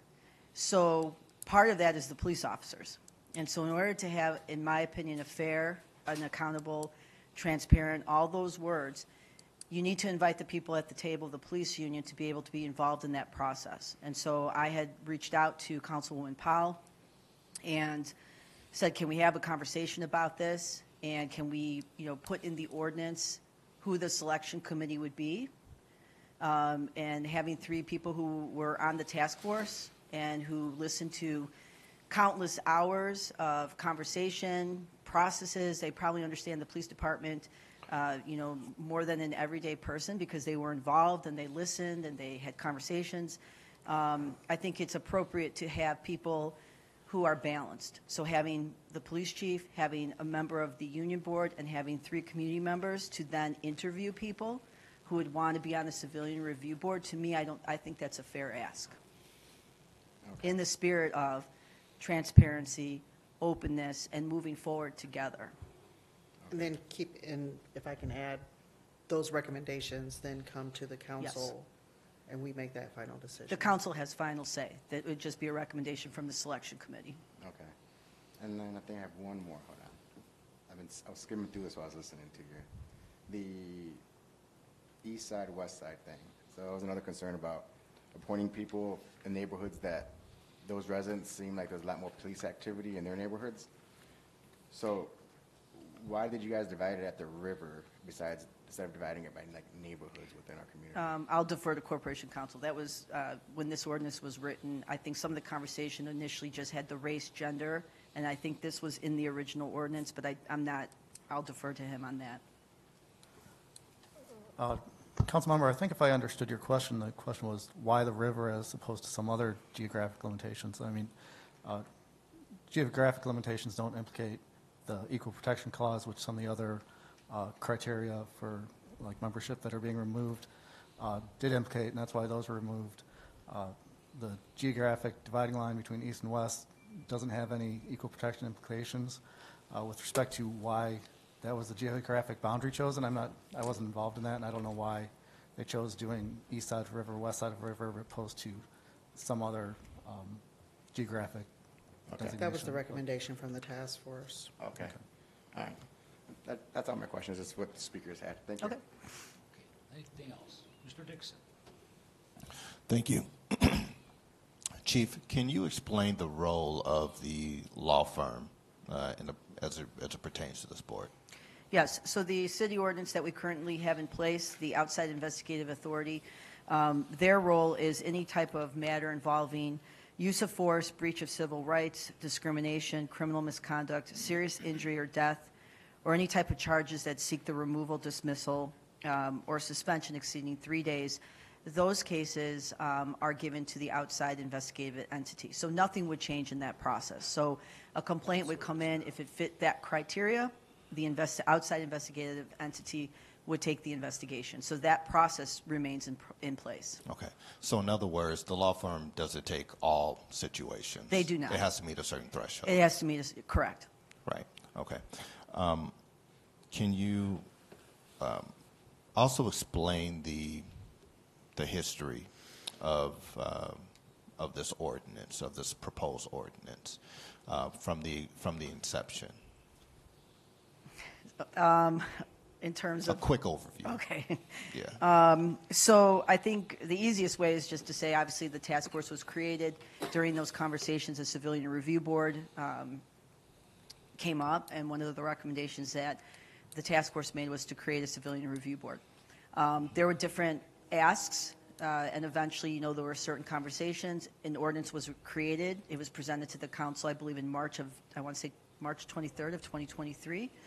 Um, At that time, uh, Corporation, then Corporation Counsel Bill Cogley uh, also administered a memo um, with my, uh, with my memo that basically outlined three concerns. The concerns were the makeup of the, of the board. Uh, The second concern was, um, from what I remember, uh, civilian, it was the oversight in terms of them, that civilian review board making the final decision on discipline because the task force made two recommendations.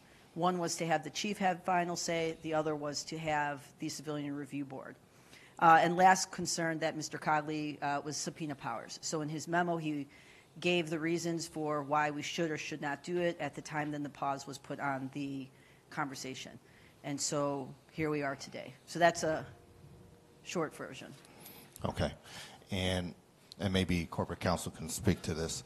Um, When it comes to um, the Civilian Review- Review Board having final authority, can you speak about that aspect in relation to, uh, to the law and, you know, I guess agreements with the union? Sure. With respect to the uh, Civilian Review Board having final disciplinary authority, uh, that's contrary to what's provided uh, for in city ordinance and specifically the collective bargaining agreement with the police union. Um, It's kind of laid out in uh, Mr. Cogley's memo, which was uh, of March 16, 2003, 23, which was included in the uh, committee of the whole packets at that time. Uh, There's, he viewed it as implausible that the union would agree to uh, change the ordinance and um, have their agreement renegotiated so that the civilian review, excuse me, civilian review board would have final disciplinary authority. He didn't view that as a plausible outcome. And he looked at the other ordinances some of the other communities had.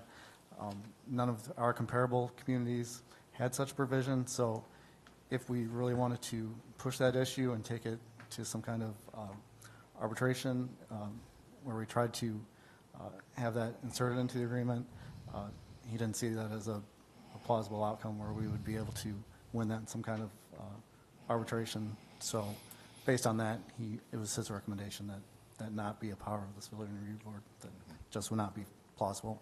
Okay. And can you speak to the subpoena power? Sure. In the draft ordinance, based on the recommendations in our existing ordinances, um, and the way he drafted the ordinance, the Civilian Review Board doesn't have a, it's not an investigative entity. So because it was not in reviewing the recommendations, that's not how it was set up. It was more to review the investigations and to make recommendations, but not to independently investigate things. Uh, He concluded that there's really no purpose for a subpoena power uh, as it was proposed, so that's why he did not include that in the final draft of the ordinance, based on his memo.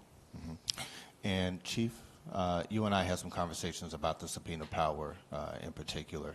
Um, It's my understanding from what you uh, advised at the time that if there are any documents, anything that's, you know, needed, you know, to be, to be provided to the uh, Civilian Re- Review Board, um, that you would have no problem doing that, you know, one day you won't be chief, but that's a part of the powers of the chief to request those documents, and they have to be provided, um, part of that request from the board. Yes, and I think it, you know, uh, in terms of if the Civilian Review Board is there to review a, a matter and then provide a recommendation to the chief, um, the chief should want to provide everything to them so that their recommendation is complete and thorough. So, um, you know, if, you know, if this is put in place and we get any rec, any request that they're going to make, then of course, I mean, that's the purpose of it. And so I think, uh, you know, whoever the police chief is after me, um, you know, to not give uh, a board the information that they need in the spirit of cooperation,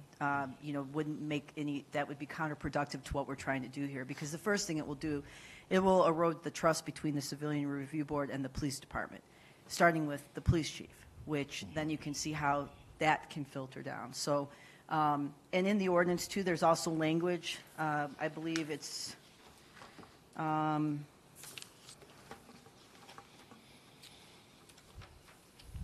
On page five, under additional administrative support, the department shall redact information, but also make available to the board members all materials and records as it may reasonably require in the performance of his duties.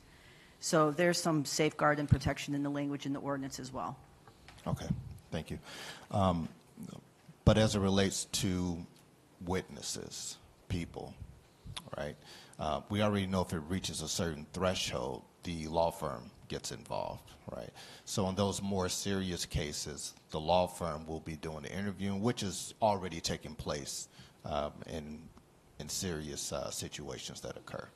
So Yes. the, okay, so the law firm would do those, conduct those interviews and things of that nature, and those documents would be provided to the, uh, to the Civilian Review Board. Yes, so the, when the law firm uh, gives its report, it has all the information in it in terms of who they spoke with. The Civilian Review Board may come back and say, you know, why wasn't person A interviewed? And at that point, we would make the law firm available to answer those questions. I'm not going to answer those questions because I'm not the one doing the investigation. And to keep, um, you know, to keep the sense of fairness and, you know, it truly be independent, I shouldn't be involved in those conversations until, if whatever the Civilian Review Board wants to see, wants to hear, let them see it, let them hear it, and then let them make their recommendation to me. So if need be, then we could contact the law firm and say, there's questions in terms of this that the Civilian Review Board has that they need answered before they make their recommendation. Can you please provide an answer to that? And it may be a simple thing. We tried to interview this person, they wouldn't come forward. Um, That would be documented in their report, or maybe, you know, that's new information, or whatever the case may be. Okay. Um, And uh, who drafted the document, the, what's being proposed tonight? Who, who drafted it? The ordinance? Yeah. The legal department? The legal department drafted the ordinance? Okay. Yes, I'm And not an and I- attorney. Yeah.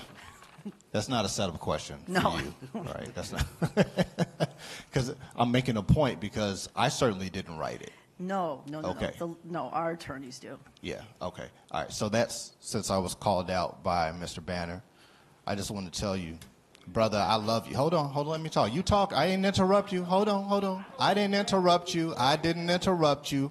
When you spoke, I'm going to talk, but I'm going to say it. I'm going to say it. You had your time. I never interrupted you. You had your time, and I, and I respected you as a man. I let you speak. I never said anything. No, no, no, no, no, no, no, no. Hold on, hold on, hold on, hold on. So hold on, hold on.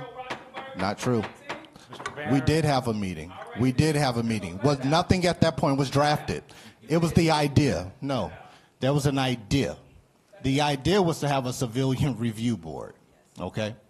I brought forward the idea of having a civilian review board. I put it up for vote and everybody voted on it, and it was approved. I intentionally stepped away from the task force when they were reviewing or going over and creating uh, this ordinance. I had no part in it.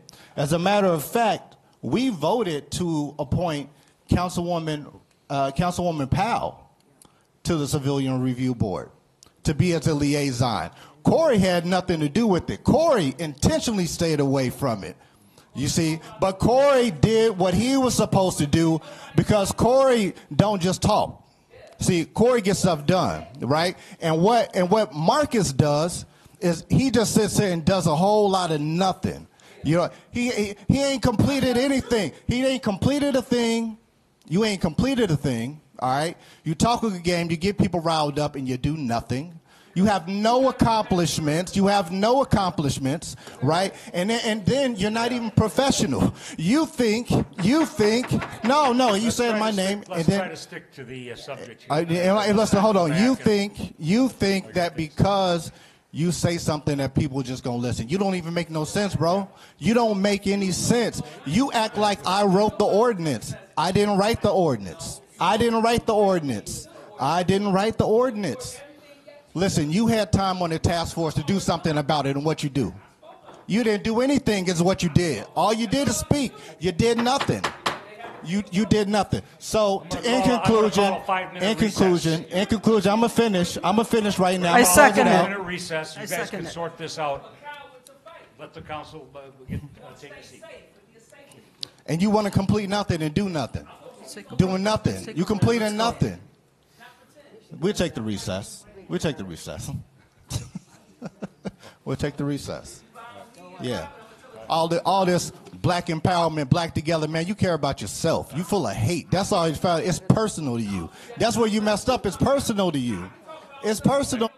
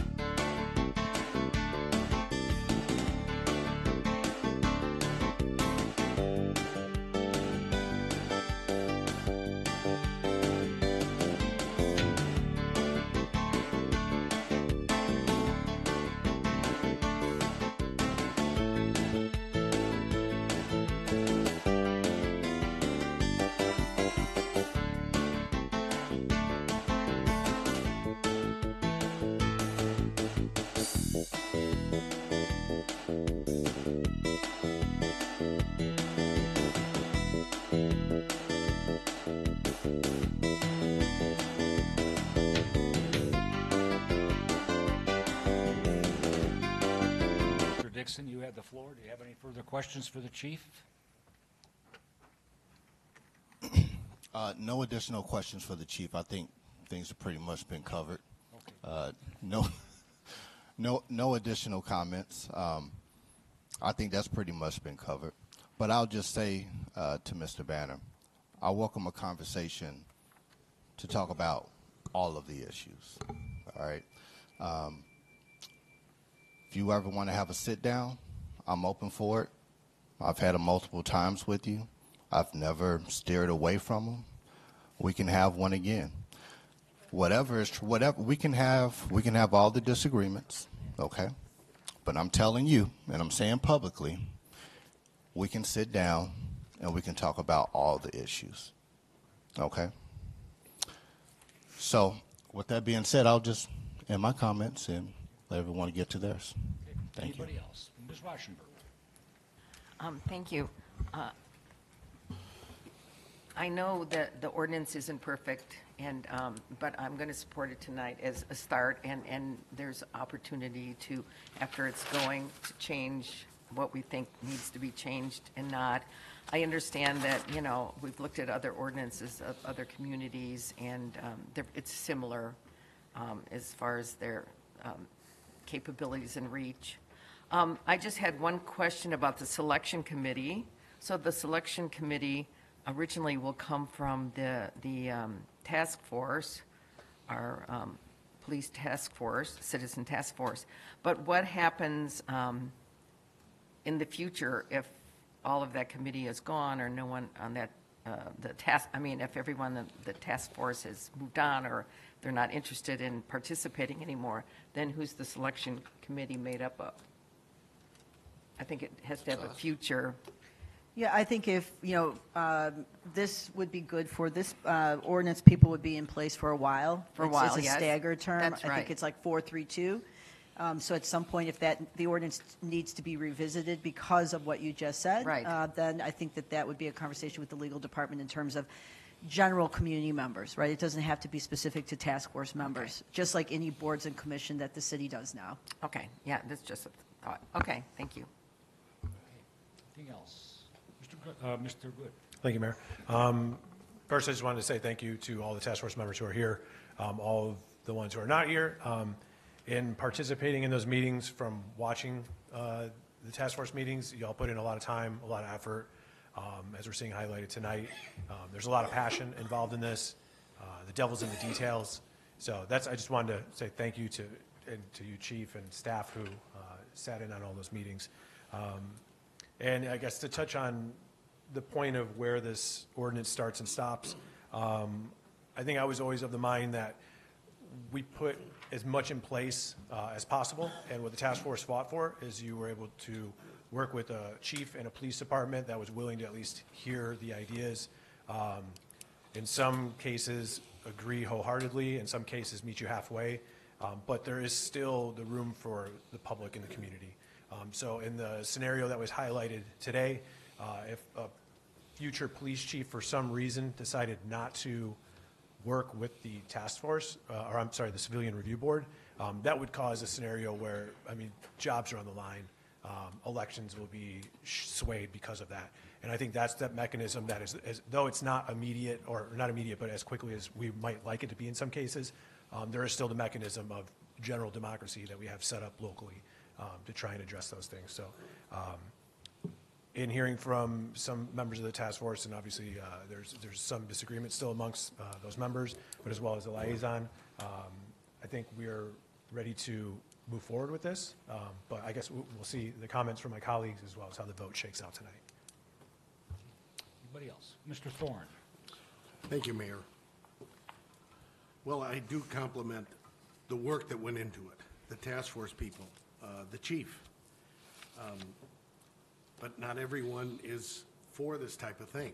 Uh, I know I speak for many citizens. I mean, I, I believe the perception factor holds a lot more strength for a lot of people's opinion. A lot of people are thinking, why would we need that? What's wrong with the police department? there is a negative connotation that it sends, and a lot of people pick up on that more than they pick up on other things. they, if you value one more than the other, or that's how you work, that's how your mind works. Uh, That's certainly the way I feel, and I know I feel this similar way to a lot of people. Um, I'm not for a civilian review board because of the, the situation is who could be on it, how might that change, but mainly the perception. The perception also for recruits, the perception for the, for the officers themselves. So I, I'm just letting people know that that's where I stand. Thank you. Anybody else? Mr. Step? I'll, I'll try to add my thoughts to this. Um, Mine are closer to uh, Councilman Good and Councilwoman Rauschenberger. Um, I've been watching the development of this and um, been waiting for this to come forward. I honestly had some of the concerns that I've heard other people voice, uh, including Sherry and Marcus. Um, But this, this proposed review board and what it's going to do is, fits right in what I often say about a lot of things that we do uh, at the city, and it's, it's that it's not a set and forget situation. We're not doing something and walking away and just letting it go. Um, Much like the private investigations, um, I will be taking this seriously, I take those seriously, I read those ROI reports. Um, as long as I'm sitting here, my goal is to make sure we don't have this go back to the way it was. And I don't see it doing that right now, and I appreciate the chief and her staff's efforts. A lot of times they're doing things before we can even get our heads around it. You guys are way ahead of us. Um, I'm not naive to- think that that's the way it's always going to be with the police department. And what I'm trying to do is create a system of checks and balances where if things don't go right, things don't go the way they should, people are treated differently, then we have some way to catch it, and we have some way to start a process to remedy it. That's my goal.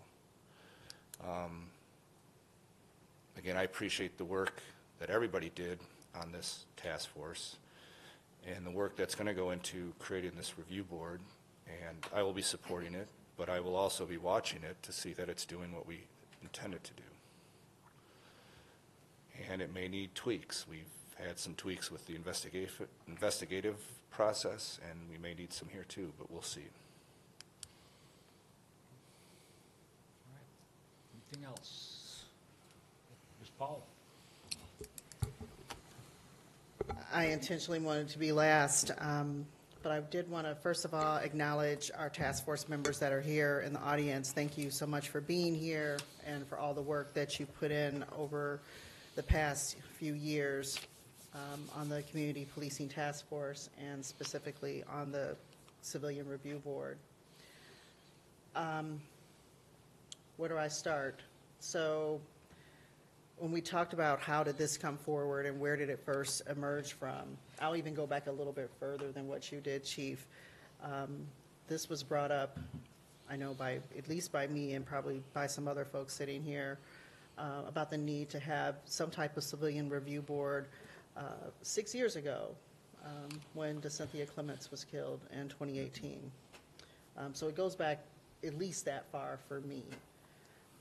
Um, I know that there are folks that aren't in agreement with this, that don't feel that we need it for whatever reason, um, feel that it shines a negative light on, on the community. And for those folks who don't feel like we need it, I'll say that those are typically the folks that aren't um, unfairly uh, treated, don't feel, they don't have the same experiences as other folks have in this community. Um, That's where this come, that's where a lot of this comes from. Um, For folks who don't see where it's needed, they probably never been pulled over by the police and harassed. They probably never felt like they were untreated, um, treated unfairly by the police. Um, So I just want to bring that up. When we talk about diversity and inclusion and transparency and including everyone in our community and community policing, it's got to be for everybody. Otherwise, it doesn't work. And I see this civilian review board as bringing our community policing full circle. Right now, our community policing is primarily focused on our police coming out into our community. This civilian review board brings it full circle because these citizens will now have some say in how they are being policed. And I think that makes a lot of sense. Is it perfect? No, it's not. And there are a lot of reasons, as we've talked about some of those today with Supreme Court rulings. Um, I think one thing that didn't come up was um, state law, um, the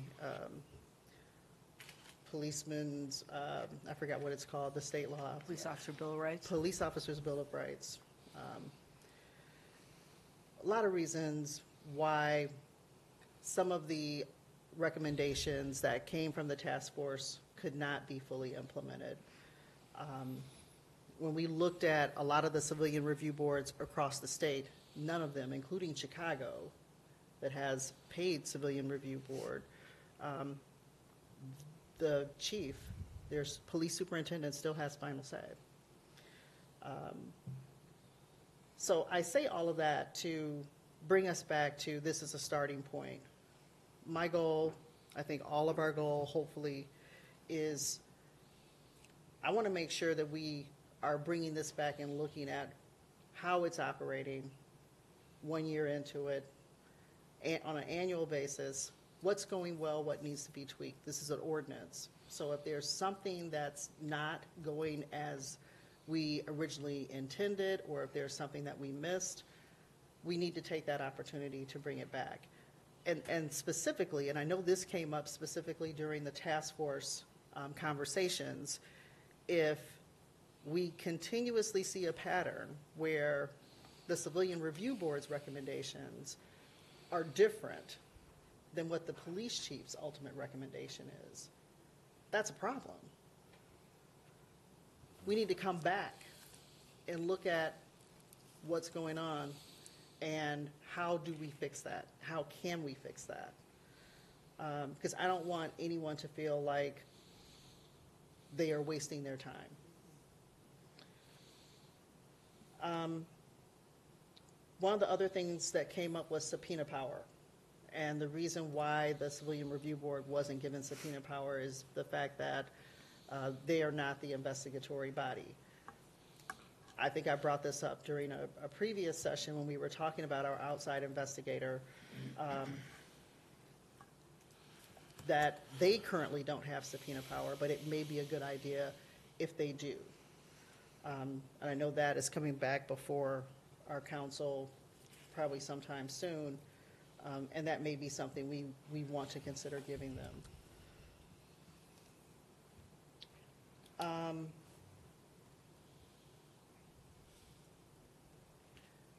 I was really hoping that we could have more language in this ordinance that specifically laid out who sat on this board, racial makeups, um, who's having the interactions with the police. That was something that came from the task force. That was something that I talked about with staff and Corporation Counsel um, afterwards. And again, because of the uh, recent Supreme Court decisions, a lot of those types of um, designations have been ruled unconstitutional. Um, Again, unfortunate, but I would hope that as the committee is looking at who they are recommending to us, and as we make those recommendations, that we take the whole of what is going on in our community and who has come to us repeatedly with concerns about policing in our community. Have things improved? Absolutely, I will say that. I believe, and Chief, you're, you've been a big part of that, so thank you to you and your, your leadership team. But you're not always going to be here. And things that have happened in the past, old, old wounds don't heal very quickly. Um, So I think it's incumbent upon all of us to be cognizant and um, take this seriously and make sure that the intent behind the formation of this board is actually realized. Um, I'm committed to that. It sounds like from a lot of the comments from my colleagues tonight that uh, they are committed to that. I know folks that are in the audience that are here that are committed to that as well. Um, So thank you, and um, I'm not sure if there's any more folks that wanted to speak. I know that there are some people in the audience that wanted to speak. And I, obviously, I will be supporting it. Okay. I will ask council member to get to speak, and. that's Okay, right, Ms. Martinez. you're always forgetting me. Okay, thank you. Um, I'm going to speak and I'm going to say things that a lot of people are not going to like, but I've always felt this way as a community leader. Um, People are always trying to um, say that we don't have any experience. Really? You know, I'm not Dina. The experience that I had with the police department back in the 80s and 90s was not a good experience, especially with a lot of people with a language barrier. And it happened to me. It happened to me where I was stopped and just, they just assumed I didn't speak any English. So I spoke Spanish, right? And um, everything was in Spanish until I was insulted, you know, and when I was insulted, that's when I stopped it. Okay, and I think he was surprised that I knew English. Okay. But I know people in the community, in this community, that they were wrong by the police. They're people that will probably never become residents, people that will never become citizens, but they still live in this community. And I can talk to them now and say that what happened in the 80s and 90s, we look at now, we, we changed as a community, we changed as a police department. And reason why we changed is because rather than being victims, we became warriors. We stayed to change it. Okay? What happened in our community back in March of 2018 was very, very tragic. It was awful. My disappointment is that that was a great opportunity to bring the community together and heal, and my disappointment is that there's people here who divided our community, divided it. And that's unfortunate because I think that was a great opportunity to bring us together and see what happened. And instead, it made it worse by making this task force. I've always said it. I've never changed. I was against the task force. And from this task force, yes, some things were done. There's a lot of meddling, I think, from the beginning.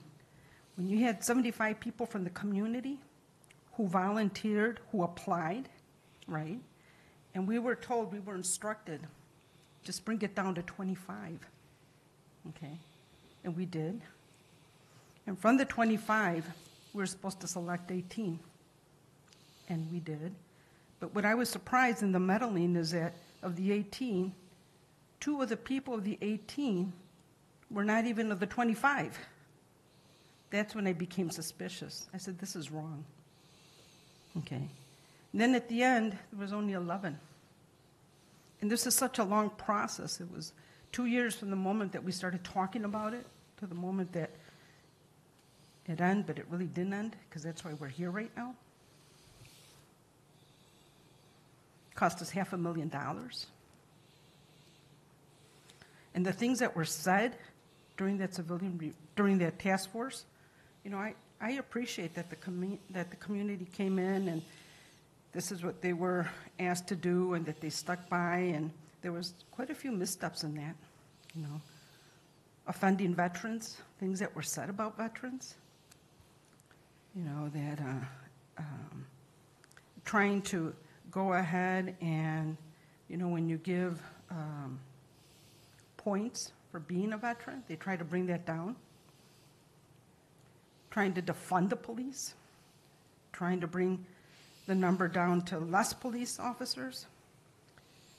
You know, uh, There was a recommendation to take away the bachelor's degree. We voted seven to one, but it still somehow turned up on the task force. Thank God the task force was smart enough to realize, you know what, it wasn't a bad idea, that's good. Why? Because we're going through this process of trying to recruit people to come here, trying to change that bad image. What I don't like about the task force, the Civilian Review Board, it is the perception. It is the image. Elgin already has a bad image, and I think we've been making it worse.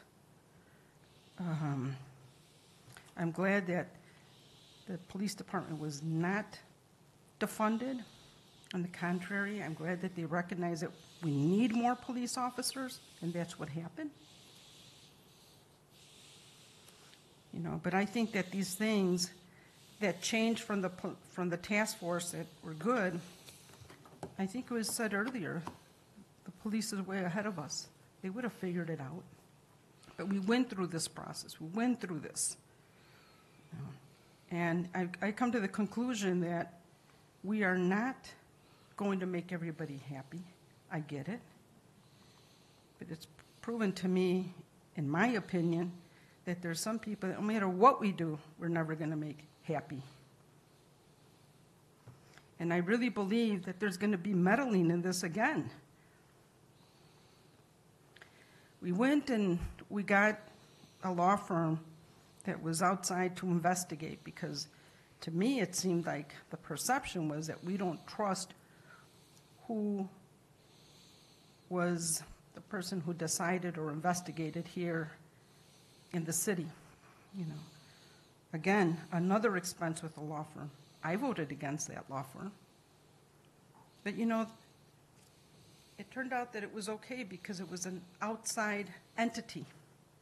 But you know what? That's not good enough for people anyway. It seems like no matter what we do. And what this is doing, aside from damaging our image, aside from um, making it harder to, poli- to be a police officer now, but I'll tell you, from 2014 on, the police department has changed a lot. I see more police officers that look like me. I see more police officers that look like our community. Isn't that what we want? Isn't that good? For a city this size, a city this size, we don't have the problems that other places do. We really, really don't. Is it perfect? No, I'm not saying that. I'm not. You know, I remember sitting in these uh, task force meetings, and I remember the question being, being brought up about, you know, how bad are these um, uh, accusations of how bad the police officers are? Most of the time, they were brought up by the police department themselves. Hate to use this word, but the police themselves. That was the majority of the complaints that were coming from the police department itself of things that were going wrong. Because you know what? It's the image, their image. Because whether you believe it or not, people, somebody does some wrong, something wrong, and they call us all out on it, you know. Um, to say that I don't have any experience, I do. But what, what I try to do is to changes, and like I said, to be uh, a, a warrior, you know, not, not a victim. Um, and, and I'm sorry, I'm, I don't support this. Thank you. Uh, I have just a comment, and uh, I think that, uh, I think this is part of a process. I'm going to support it. It's been a process this city's been going through for a decade. And that process is to allow the people that live here the easiest way they can to have issues with our community. We started 311 for that purpose, so people could complain about just the fact that they pick their trash up. And it's something as simple as that. This is much more complicated than that. But I want people to be able to feel comfortable, to come and file a complaint, not be afraid, and be able to get their issues resolved as the best that we can do. And again, that's been said about 10 times today. Is this perfect? No, it's not. I don't know of anything that's, I- one guy told me at one time, there's only one thing perfect, and that's God's perfect. So this is it, this is significant for this community. It's a first step, and there may be modifications as we get onto this in the future, and we do that. We do that all the time. But I think this gives uh, people an opportunity to uh, uh, go to a civilian board and file a complaint. That complaint will still end up over there. And, but it gives them the feel that they can deal with their own, with people of their own, of their own uh, uh, stature. And it's intimidating for people just to come here and say that we have a problem and to go up there and speak. They're not public speakers. It's a huge process. And I think this makes it better. I think this is going to make it better for that. And uh, that's my hope anyway. And uh, uh, look forward to uh, maybe having future discussions here as we make some modifications. So it's really, uh, really quick. Now let's wrap this up. And, and we have uh, Ms. Haben. I still owe you a, a chance to comment. Okay, Ms. Rauschenberger. Yeah. I'm just quickly going to say a list of the, the cities in Illinois that have citizen review boards, and this is just a short list. Springfield, Champaign, Rockford, Aurora, Bloomington, DeKalb, Chicago, Evanston, Urbana, Rock Island. These are communities that where people, you know, it, it doesn't mean that their police force isn't wonderful. That's all. Thank you. Okay, Ms. Powell.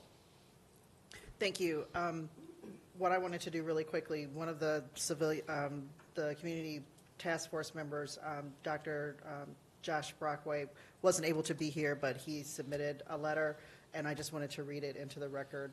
Um, It was sent to the entire city council, but um, I thought it was important for um, everyone else to hear it as well. Um, It says, "Members of the Elgin City Council, I am writing to you as a member of the Community Task Force on Policing. Though our work finished up some time ago, I see the ordinance forming the Civilian Review Board as a key milestone in the work we started. I am writing in support of the CRB and wish to share one observation and two reasons why my support continues. In the time since the formation of the task force, the word progressive has been cons- consistently used to describe the Elgin Police Department. Having read all of the policies and sat with command staff, several officers, and most recently, all of the fair and impartial policing instructors, I can say that the descriptor is accurate. However, when I hear city leadership use progressive as an adjective, it is almost always in a defensive tone. It is as if the CRB, in addressing discipline and disparities in policing, is a threat to the reputation of the department. Nothing could be further from the truth. Community policing is the foundation of the Elgin Police. Establishing the CRB, to me, is an extension of that policing model. Allowing informed and trained citizens to have a voice in the disciplinary actions and assessment of policing data is an important part of providing community input in the way the community is policed.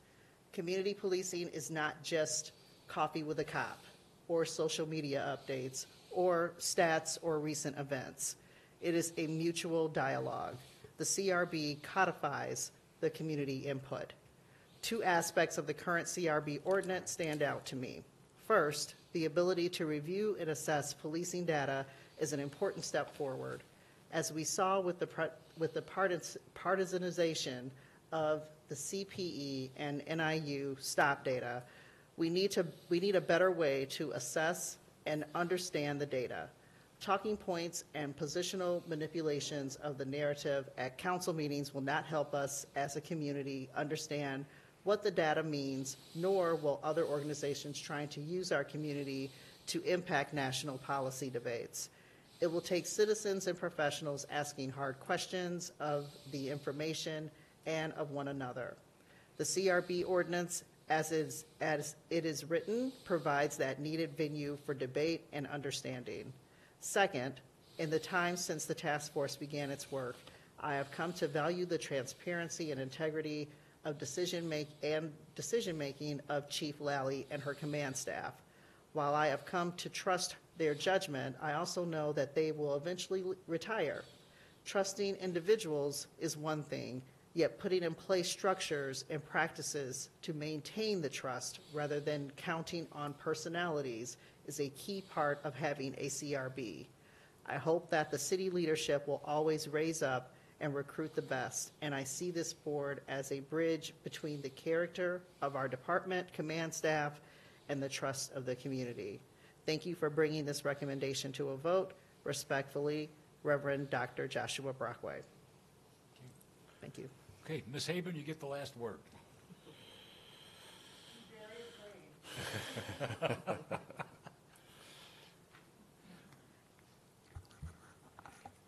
Good evening, Mayor, Kaptain, and members of the City Council.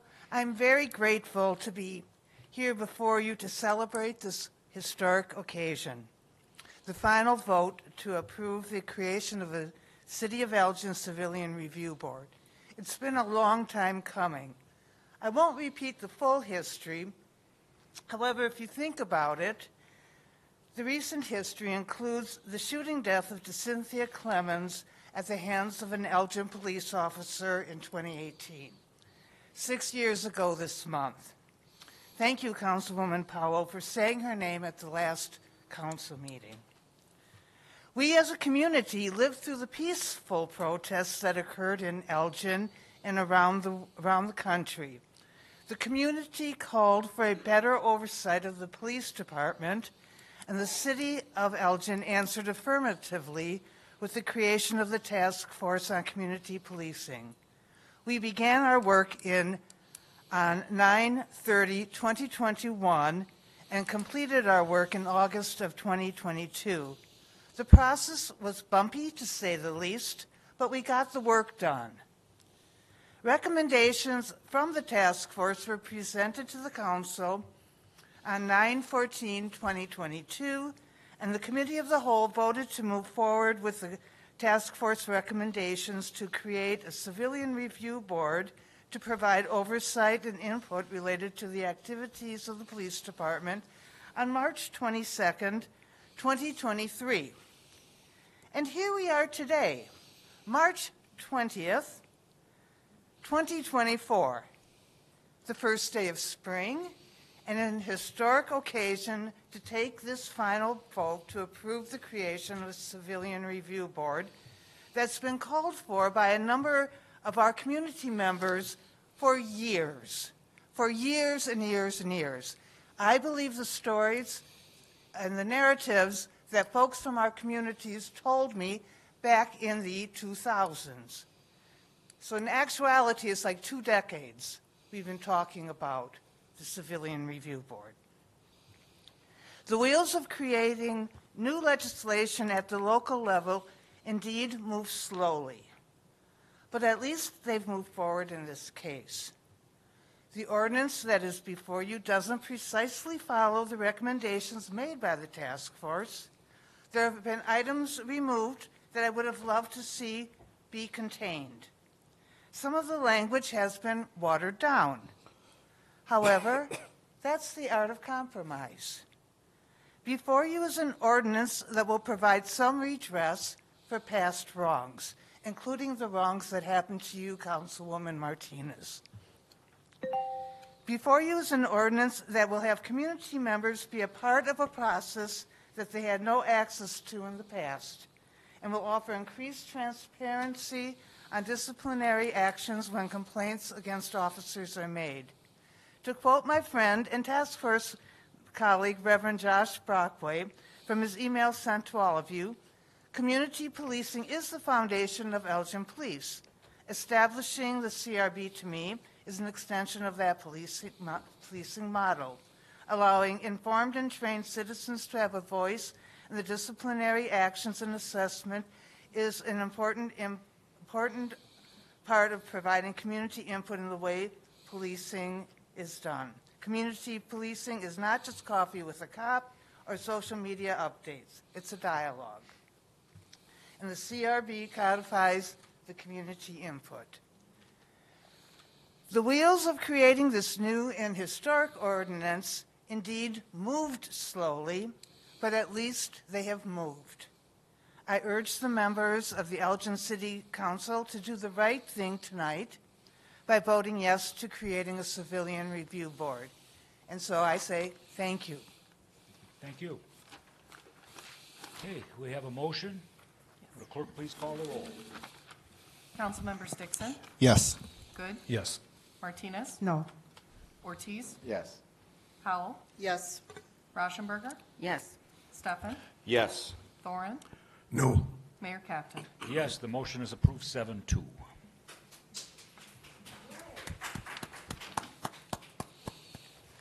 Consent agenda. Second. Moved and second for approval. Any uh, discussion? Hearing none, clerk, please call the roll. Council members Dixon, Yes. Good, Yes. Martinez, Yes. Ortiz, Yes. Powell, Yes. Rauschenberger, Yes. Steffen, Yes. Thoren, Mayor Kaptain. Yes, the motion is approved nine zero. Miscellaneous business. Move approval. Second. Moved and seconded. Question, Mr. Ortiz. Uh, it's the minutes for the Cultural Arts Commission. Uh, I think they're missing, uh, Ms. Powell on here. I want to give her credit for being on the commission. Uh, I might have been absent at that meeting. Okay. All right. That, that was it. Thanks for looking out for me. I just wanted to be reflected the same because on the portal on the website, that her attendance is, doesn't get messed up. All right, Okay. thanks. Uh, Clerk, please call the roll. Councilmembers Dixon, Yes. Good, Yes. Martinez, Yes. Ortiz, Yes. Powell, Yes. Rauschenberger, Yes. Steffen, Yes. Thoren, Yes. Mayor Kaptain. Yes, the motion's approved 9-0. Announcements. The next committee of the whole meeting will be Wednesday, April tenth, twenty twenty-four at six P M. in the city council chambers. The next regular meeting of the Elgin City Council will be April tenth, twenty twenty-four at seven P M. in the city council chambers. I'd entertain a motion to adjourn back to the committee of the whole. So moved. Second. Move and second to adjourn. Clerk, please call the roll. Council members Dixon, Yes. Good, Yes. Martinez, Yes. Ortiz, Yes. Powell, Yes. Rauschenberger, Yes. Steffen, Yes. Thoren, Yes. Mayor Kaptain. Yes, we are adjourned. Now I entertain a motion to uh, reconvene. So move. Second. Moved and second to reconvene. Clerk, please call the roll. Councilmembers Dixon, Yes. Good, Yes. Martinez, Yes. Ortiz, Yes. Powell, Yes. Rauschenberger, Yes. Stefan, Yes. Thoren, Yes. Mayor Kaptain. Yes, we are back in session, uh, Mr. Manager. I believe we're on numbers, on letter C. C. Is that correct? It is correct, Mayor, thank you. This is electric vehicle charging network expansion. This is the 2024 Project Engineering Services Agreement with Hampton Lenzini and Renwick. Eng- This engineering services agreement with HLR provides for electrical design and construction oversight activities associated with the expansion of the city's EV charging network. This agreement contemplates design and construction oversight at eight city-owned locations. The project aims to begin the work necessary to add EV charging amenities at the city's regional parks, excuse me, Wing and Lords, the Elgin Sports Complex, Bowes Creek Country Club, Highlands of Elgin Golf Courses, plus the expansion of public charging options in the Robert Gilliam Municipal Complex. If that's not enough, also included within the agreement is an analysis into the feasibility of future fleet EV charging capacity within the rear parking lot of the Edward Schock Center of Elgin and at the Public Works Facility at 1900 Holmes Road. Move for approval. Second. Moved and second for approval. Any discussion? Here, Mr. Thoren. Thank you, Mayor. Well, I still have my concerns for electric. Uh, It's not that I don't believe that they will be uh, a wave of the future, but it's at this moment. Uh, I'm curious as to where the city even is on its return on investment at this point, the cost that we're putting into these, the fact that the charging stations have been proven that they don't work when it gets too cold, and even as of recently, major car manufacturers have stopped manufacturing electric vehicles, and Hertz just abandoned their electric fleet. I'm not in favor of this this time. Mr. Manager? Public Works Director Aaron Neal's here. He can provide some information on the plans for moving forward with the electrification of the city's vehicle fleet. How are you, Mr. Neal? You're fine, thank you. Good evening. Councilman Thoren, all great questions, all great points. Um, Like everything else that we do within this organization, we try to be objective as possible when it comes to our research. Um, And what we found is that slow is smooth and smooth is fast, right? And that's the approach that we're taking here.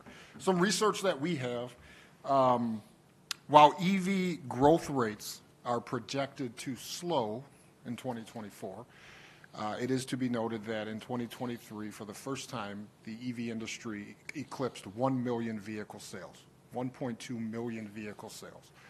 Year over year, from 2022 to 2023, it was a 49% increase from the year prior. Early projections in 2024 are that, is that the EV market is still going to increase up to 1.5 to 1.6 million units sold, it's the growth rate that's going to slow, and it's going to come down between 25 and 30 percent.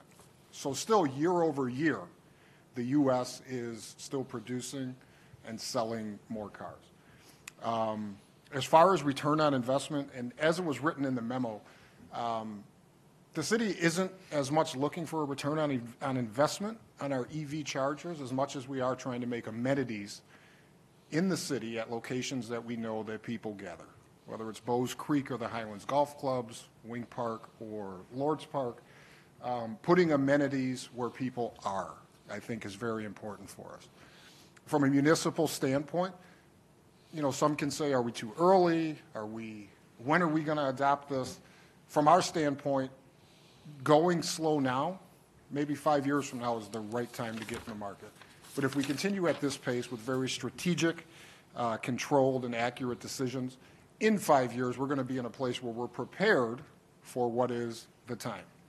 Just today, the Biden administration and the EPA signed into legislation new uh, standard emissions control, which isn't as stringent as it was a year ago when it was um, presented, but still by 2032, they want between 35 and 60 percent of all vehicles manufactured to be EVs, and they want another 13 to 30 percent manufactured to be hybrids, whether plug-in hybrids or full hybrids or some variation. That was just today. So I believe that where we are now as a municipality of our size, um, in Kane County, uh, understanding the metrics of vehicles that are in Kane County. Uh, I have that here this evening. We have 4,000 EVs in Kane County. There's 26,000 EVs in Cook County, and there's 15,000 in DuPage. So kind of our three, our three counties, which are right around us, there's just under 35,000 EVs. And I think it's prudent of us to provide some amenities to people who are going to be coming to or visiting our city. Um, Hertz, indeed, you did mention Hertz. Um, they indeed did fire their CEO, and they set off on a mission to procure 100,000 Teslas in 2021. They only purchased 60,000. Uh, in January, they said that they were going to sell 20,000 of those. It's a third of their inventory. Hertz was too soon. I think Hertz and their, their CEO, and while they're selling off vehicles, is because it was a poor business model. Hertz didn't buy or build the infrastructure necessary to maintain their fleet. So imagine going on a trip from Chicago to LA, and you get to LA, I'm going to rent a car. Who wants to rent an EV? Because when you come back to the airport, Hertz didn't invest in the infrastructure to charge that EV, but yet they still charge the fee if you brought the car back at a lower charge rate, right? So it's a, it's, they were five years too early. So they're selling off their fleet because of, I think, a poor business model. So while all these things are true, and if we can put partisan ideas, you know, aside, when we look at it objectively, I think the rate that we're going at and providing these amenities to the community is spot on. Anything else down this way? Okay, Mr. Ortiz. Good evening, Mr. Neal. Thanks for being here so long with us. How you doing, Councilman? Uh, For the locations you have listed here? Yeah. On page, bottom of page two and beginning of page three, for the sports complex, is that the existing that's already standing, or is that like the expansion piece? No, so that is for the existing section of the sports complex. Um, I have been in contact with the Smith Group through the Parks and Recreation Department as it relates to expansion, the sports complex expansion, and the EV charging stations that they want to include. We want to make sure we get the same makes and models and that everything is uniform. Uh, The proposal and the engineering design that's in front of you this evening is for the existing facilities within the sports complex. So if the new section has EV chargers, we want to make sure the current two hubs uh, that are out there, soccer fields, and all the other amenities also have access to EV charging. Okay. And then for page four, you have the screenshots of the financials that Mr., I'm guessing Mr. Thoren was alluding to. Yeah. So for October, it says that we, the city collected about four hundred dollars. Mhm. Did we break even then, and would that cover the electrical costs of running those stations? Yes, it 100% covers the cost of running the station. So through ChargePoint, it's a software company that also dabbles in hardware, right? So the actual uh, charging station hardware.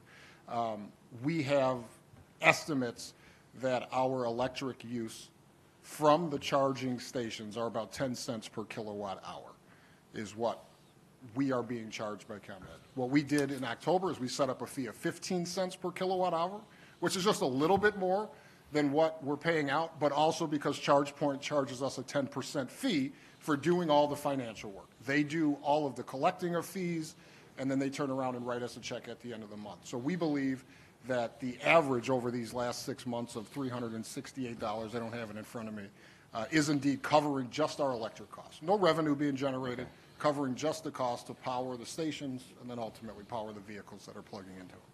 So we really have like no net loss then, right? Because the fees will cover everything. Correct. Okay. I mean, we are paying for the capital costs to, Yeah. to build the stations, actually procure the stations, but to operate the stations, no, there's no Okay. cost.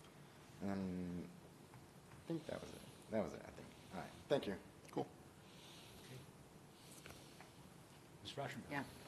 Um, I just want to say, um, on behalf of the Sustainability Commission, that we do support um, working toward zero emissions a- as the world moves forward, and we support um, uh, putting in uh, um, electric, you know, charging stations, as well as, you know, and- slowly increasing our own fleet toward electric. Um, And thank you, Aaron, for proving all the points. Um, And I think th- the, the question of ROI, I think, um, I don't know if we measure return on investment in all- everything we invest in roads every single year, um, which is millions and millions and millions of dollars. But it is infrastructure, what communities need to be a community. So, thank you. And, and throughout this process, as we engage, you know, actually um, constructing the stations, we are seeking grants out through Commonwealth Edison, ton of opportunities and grant dollars through the federal government and the state government, so we are looking at ways to offset the actual purchase price um, and installation of the charging station, so we are taking advantage of those opportunities as well. This agreement that's in front of you tonight is just for that foundational design work that Hertz probably should have done before they invested in 60,000 EVs. Um, Just to do that work, again, slow is smooth, smooth as fast, and that's the direction we're working in. Uh, Ms. Powell? Thank you. Um, Thank you, Mr. Neal, for being here tonight and uh, moving forward uh, with the EV um, charging expansions. Um, I think we're, I think we're at the right speed at the right time. Um, It was mentioned that, you know, the electric vehicle sales have been declining like this year, but I think what people need to understand that a lot of the incentives and rebates um, at the state and federal level that were tied to EV mm-hmm. car sales ended. And that did have a definite impact on the sales because mm-hmm. people were very incentivized mm-hmm. To purchase. And they, and they EVs. still are. 2024, the, the federal government is still offering $7,500 for certain models. So For that, certain that models. is through this fiscal year from the feds. Yes, and I think, but there was one at the state level that didn't, I don't think Yeah, got the, renewed. the state funded one for about, uh, it was four thousand dollars state rebate, that, I think it was only for four thousand Illinois residents, but still, Yes. those four thousand could get both the Fed and the state rebate. Yes.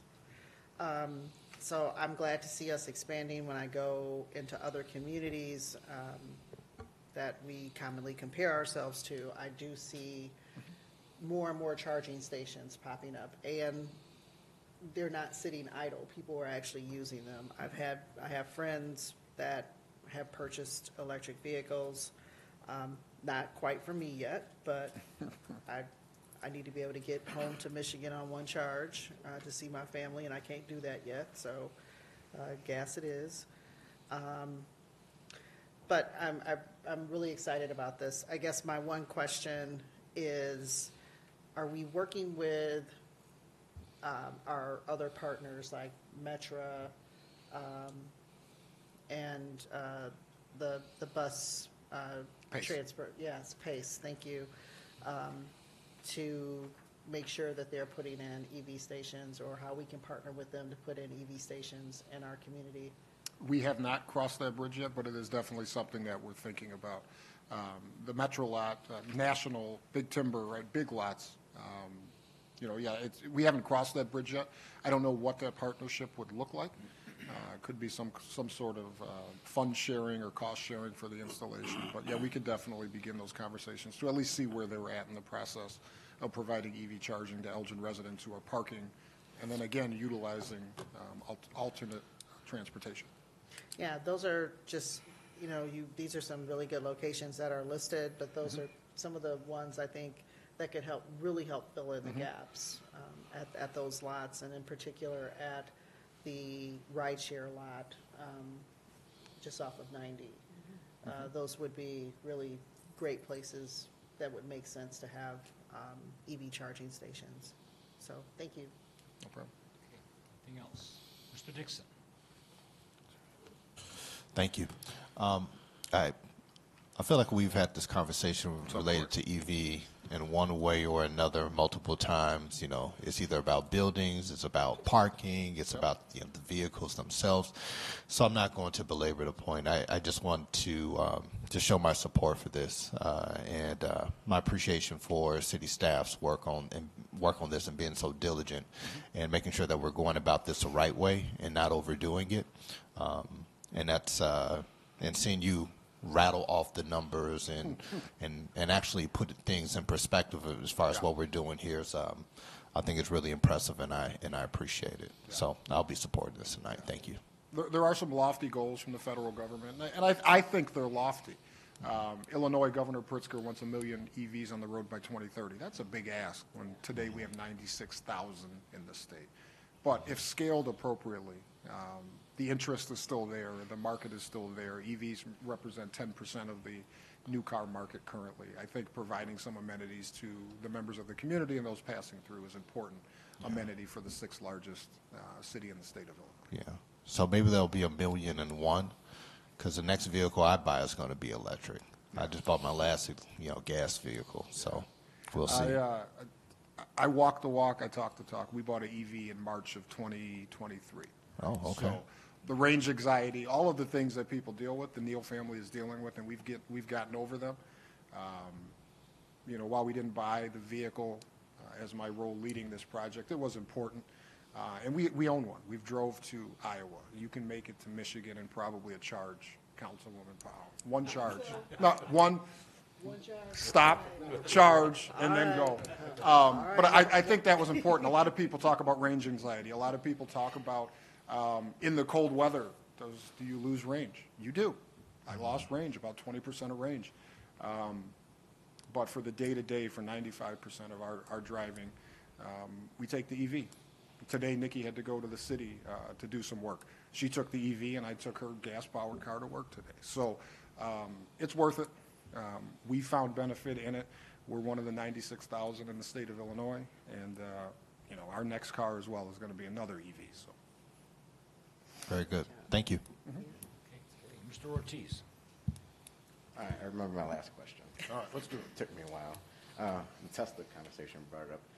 Are we gonna, are all the chargers com- gonna get switched to the new plug once all the, like Ford, GM, Chrysler adopt the Tesla charge plug? Yes. So another big transition that the uh, major United States automakers are making is that in 2025, everyone is adopting the NACS, North American Char- Charging Standard, which is the Tesla charge plug. Um, GM, Ford, Chrysler, everyone has adopted that. So when all of the manufacturers adopt that in 2025 and put them in their new EVs, it's only going to boost the availability of over-the-road charge, charge uh, infrastructure. Uh, But we have had early conversations, even before we bought the chargers that we have now in our municipal lot. Uh, We talked to ChargePoint, and they guaranteed us that they are going to update all of the current plugs to the NACS so that our vehicles are going to be up, up to date for 2025. So yes. All right, thank we- you. We are scheduled to make that transition. Anything else? Ms. Martinez? Thank you, Mayor. Mr. Neal, thank you very much for all the information. I love the fact that your objectivity, um, that the capital cost, that kind of reminds me of, you know, we have these parks, we maintain them, it costs us. We're not trying to, we don't make money out of it, but you know what? We make a great community out of it. That's what a community is about. Uh, I love that you bought your EV. It was a mild winter, you know.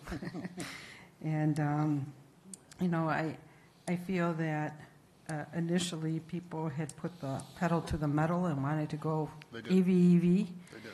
And um, I like your slogan about uh, slow is smooth and smooth is fast. You know, that's very smart. And that's what I love about um, our staff. You know, you guys are the ones that uh, work full time. This is what you guys do. And thank you for continuing to do that. Thanks. Thank you. Anything else? Clerk, please call the roll. Council members Dixon, Yes. Good, Yes. Martinez, Yes. Ortiz, Yes. Powell, Yes. Rauschenberger, Yes. Steffen, Yes. Thoren, No. Mayor Kaptain. Yes, the motion is approved eight one. Item D, DuPage Street Combined Sewer Separation Project Engineering Services Agreement with HR Green Incorporated. City has a combined sewer system serving approximately 3,000 acres in the central part of the city. Within those 3,000 acres are 11 combined sewer outfalls that discharge combined sewer overflow into the Fox River. The city's combined sewer overflow long-term control plan identifies the city's intent to separate all of the stormwater flows from the combined sewers to reduce overflow volumes and improve the water quality of the Fox River.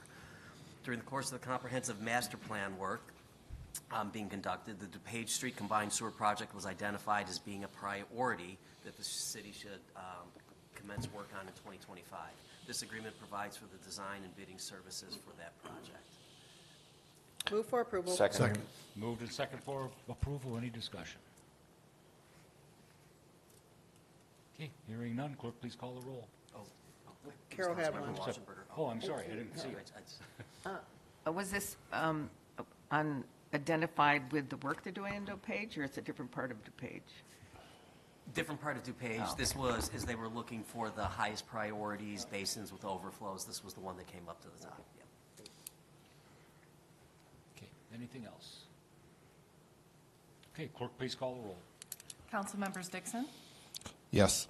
Good, Yes. Martinez, Yes. Ortiz, Yes. Powell, Yes. Rauschenberger, Yes. Steffen, Yes. Thoren, Yes.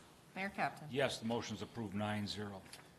Item E, the Summit and Dundee Avenue Intersection Improvements Project. This is change order number one. Back uh, last March, the city approved the construction award to Plody Construction. Work began on the project in April and was stopped one month later in May because of the proposed improvements, uh, unforeseen conflict with existing gas utilities. Uh, Following the resolution of those utility conflicts, Plody resumed, resumed work in July of 2023 and worked until November 22nd when the weather stopped work for the season. This change order enables Plody to resume construction work not later than May of this year and provides an extension of contract time and a revised construction completion date of September 6th, 2024. The extension of contract time affords Plody with sufficient time to complete the work as described in the original agreement, a time accommodating for time lost due to unforeseen utility conflicts. In the absence of this change order, Plody would be subject to costs for not completing the work on time. Move approval. Second. Moved and second for approval. Any discussion? Hearing none, clerk, please call the roll. Councilmembers Dixon, Yes. Good. Yes. Martinez, Yes. Ortiz, Yes. Powell, Yes. Rauschenberger, Yes. Steffen, Yes. Thoren, Yes. Mayor Kaptain. Yes, motion's approved nine zero. Item F is an Illinois Department of Transportation Letter of Understanding for maintenance obligations associated with US Route 20 from Grace Street to Lavoy Avenue. IDOT's preparing to advertise for bids on the section of US 20 between Gray Street and Lavoy Avenue. Although the improvements are primarily owned and the responsibility of IDOT, the city does have some water mains, street lighting, sidewalk connections, and other minor improvements within the limits of this project. This agreement clarifies the ownership and maintenance obligations for those various improvements and establishes the obligations for each entity individually and in some cases cooperatively. Because there are no city-owned utilities being relocated by IDOT within the project limits, there is no immediate cost to the city with this letter of understanding. The city, however, will agree to maintain in its existing and ongoing maintenance agreements those amenities that exist within the IDOT right-of-way. Move approval. Second. Moved and second for approval. Any discussion? Mr. Ortiz? Uh, Is this going to go on at the same time? Oh, let me go back. Is this going to improve the Illinois exit where the cars kept going into that neighbor's yard? Are they going to try to fix that issue? That is, but that's not immediately part of this project. We're working on that separately. So, well, let me put it this, the, tw- the US 20 improvements from Lavoy to Grace, we've added the additional component to do the reworking on the Illinois Avenue intersection, yes, where people end up in that gentleman's front house, and I can't remember the name off the top of my head from the similar intersection on the south side of 20. Those two components are being added to to reconfigure those outdated and essentially unsafe exits. Okay. And I'm assuming this is going to be done, or start this part of the project in 20 after the 21 and, or the 31 and 20 intersections done? Or are they going to do it all at once and be a hot No, mess? well, and again, it's not us that are doing it all at once. This is your friends at IDOT. Yeah, yeah, I'm saying, like, they're going to do it all at once and make Yes. everything a mess, right? That is correct. All right. That's it, thank you. Mm-hmm. Anything else? Clerk, please call the roll. Council members Dixon, Yes. Good. Yes. Martinez, Yes. Ortiz, Yes. Powell, Yes. Rauschenberger, Yes. Steffen, Yes. Thoren, Yes. Mayor Kaptain. Yes, the motion's approved nine zero. Uh, Item G, the US Route 20 and Reinking Road Roundabout Project Joint Funding Agreement with the Illinois Department of Transportation. While IDOT's in that name, this is a city project. The US 20 and Reinking- Road Roundabout Project, located at Elgin's West City boundary area next to Pingree Grove, will allow for the replacement of the existing substandard intersection with a multi-lane roundabout. The new configuration will improve traffic flow and safety through this intersection, and address the needs of both local and regional development. The city is receiving two and a half million dollars in federal surface transportation funds secured through the Kane Kendall Council of Mayors. These funds are administered through the Illinois Department of Transportation, which in turn requires Elgin to enter into a joint funding agreement. Approval of this item will commit the city to the appropriate balance of the project costs currently projected in the amount of $1.3 million. Move for approval? Second. Moved and second for approval. Any discussion? Good job. Ms. Rauschenberger? Only glad to see a a roundabout, and i- if you're uncomfortable, some people on our dais maybe don't go that way. This one's going to be a little bit bigger than the ones that we're used to. so. It's properly designed. Clerk, please call the roll. Exactly. Yeah. Exactly. Councilmembers Dixon, Yes. Good. Yes. Martinez, Yes. Ortiz, Yes. Powell, Yes. Rauschenberger, Yes. Steffen, Yes. Thoren, Yes. Mayor Kaptain. Yes, the motion's approved nine zero.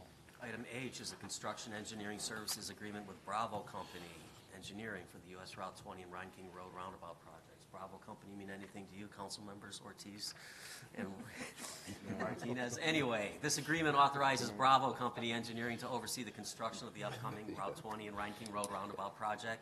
Uh, Bravo will be providing field inspections, design interpretation, contract administration, and project coordination to ensure the timely and proper completion of work within the project area. Sounds like we're in the military. Move for approval. Second. It's moved to second for approval. I Any got it. discussion? Hearing none, clerk, please call the roll. Council members Dixon, Yes. Good? Yes. Martinez? Yes. Ortiz? Yes. Powell? Yes.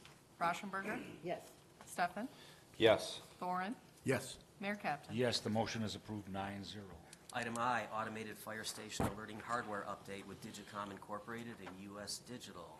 The Emergency Tele- Telephone System Board, E ETSB, approved updates to the fire station alerting system at all fire stations. These improvements will bring the fire station's alerting system, uh, alerting systems up to date, providing more efficient and timely emergency response to the community. Just right now, there's multiple instances where wiring in the ceiling speakers was inappropriately connected.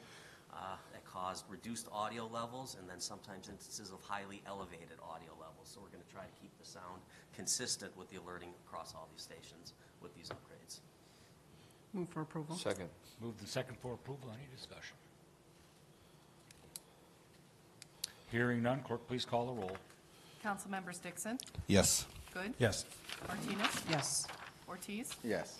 Powell? Yes. Rauschenberger? Yes. Steffen? Yes. Thoren? Yes. Mayor Kaptain? Yes, motion's approved nine zero. Item J, Kane County Child Advocacy Center Agreement for Investigating Sensitive Crimes Involving Children. The KCCAC, as it is called, is a division of the Kane County State's Attorney's Office, and it investigates and prosecutes serious physical and sexual abuse cases against children.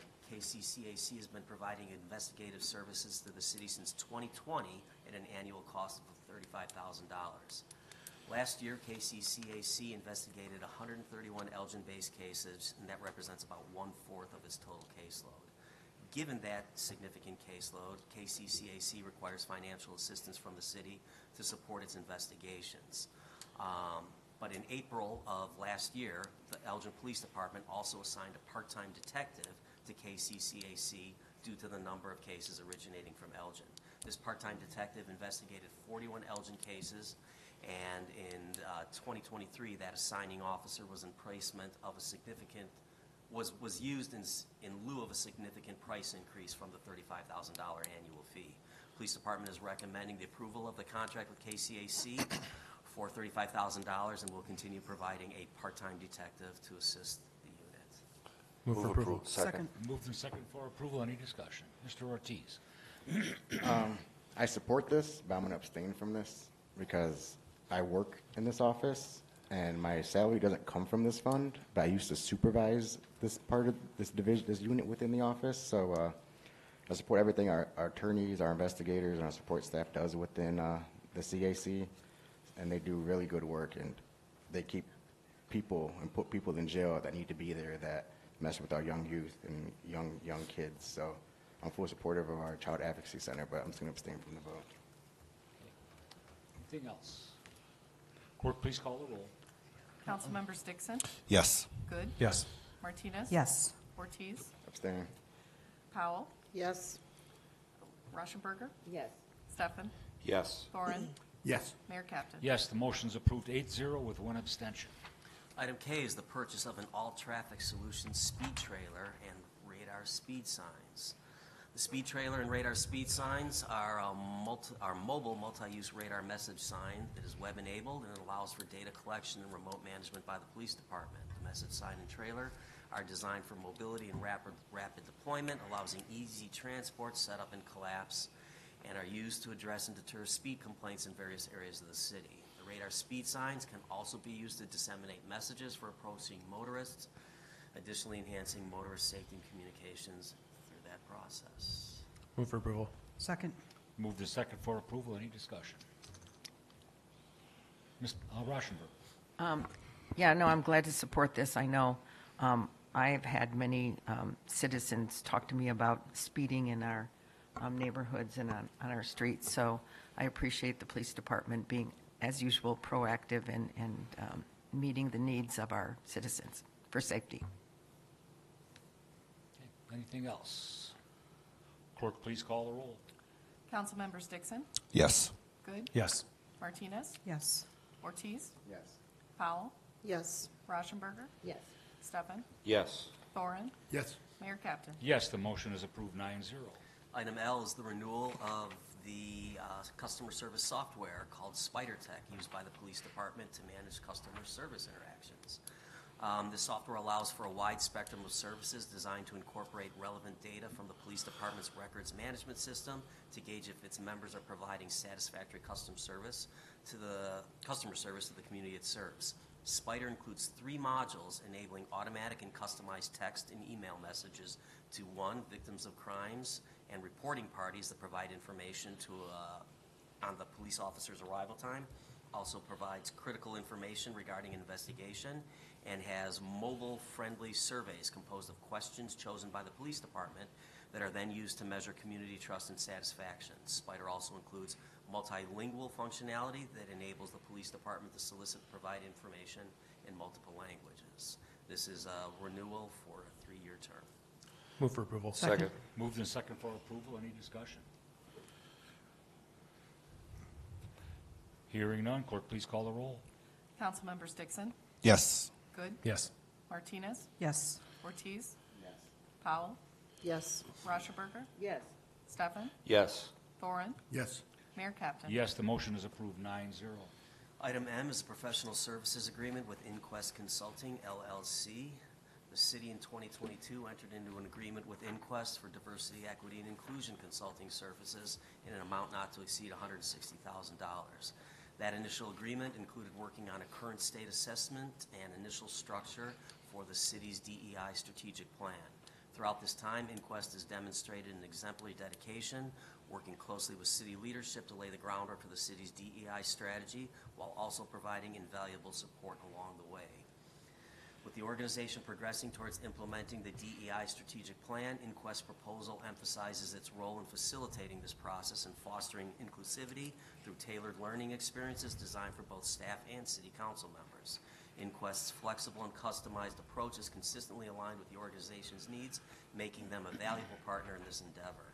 Inquest remains committed to supporting the DEI leadership team throughout the selection and onboarding process for the DEI role, ensuring a seamless transition and continued success in the city's DEI initiatives. This uh, recommended contract is in a not-to-exceed amount of $200,000. Move for approval? Second. Moved and second for approval. Any discussion? Yes, Ms. Mayor. Powell? Thank you. Um, This question is for the city manager. You mentioned um, Inquest um, and their involvement with uh, the DEI role, the position that we approved um, a few years ago. Could you give us an idea of what that timeline looks like for them to um, complete the work, um, putting together the job description and, and posting the position and interview process at all? Uh, The job description is completed. It may have been posted today, and so it'll simply be a question of going through the posting, going through the interview process, and see uh, what, re- what is returned in terms of candidates. So based on the executive recruiting that's occurred within the past couple of years, I would imagine that that's about a three or four-month process at the outside. Okay. At the outside. Great, thank you. Mhm. I- If you give me an opportunity to add that, um, beginning in April, there are going to be 15 organization-wide sessions for every city employee occurring through three weeks, focusing on the city's efforts to launch its new DEI strategic plan. Uh, Ms. Rauschenberg?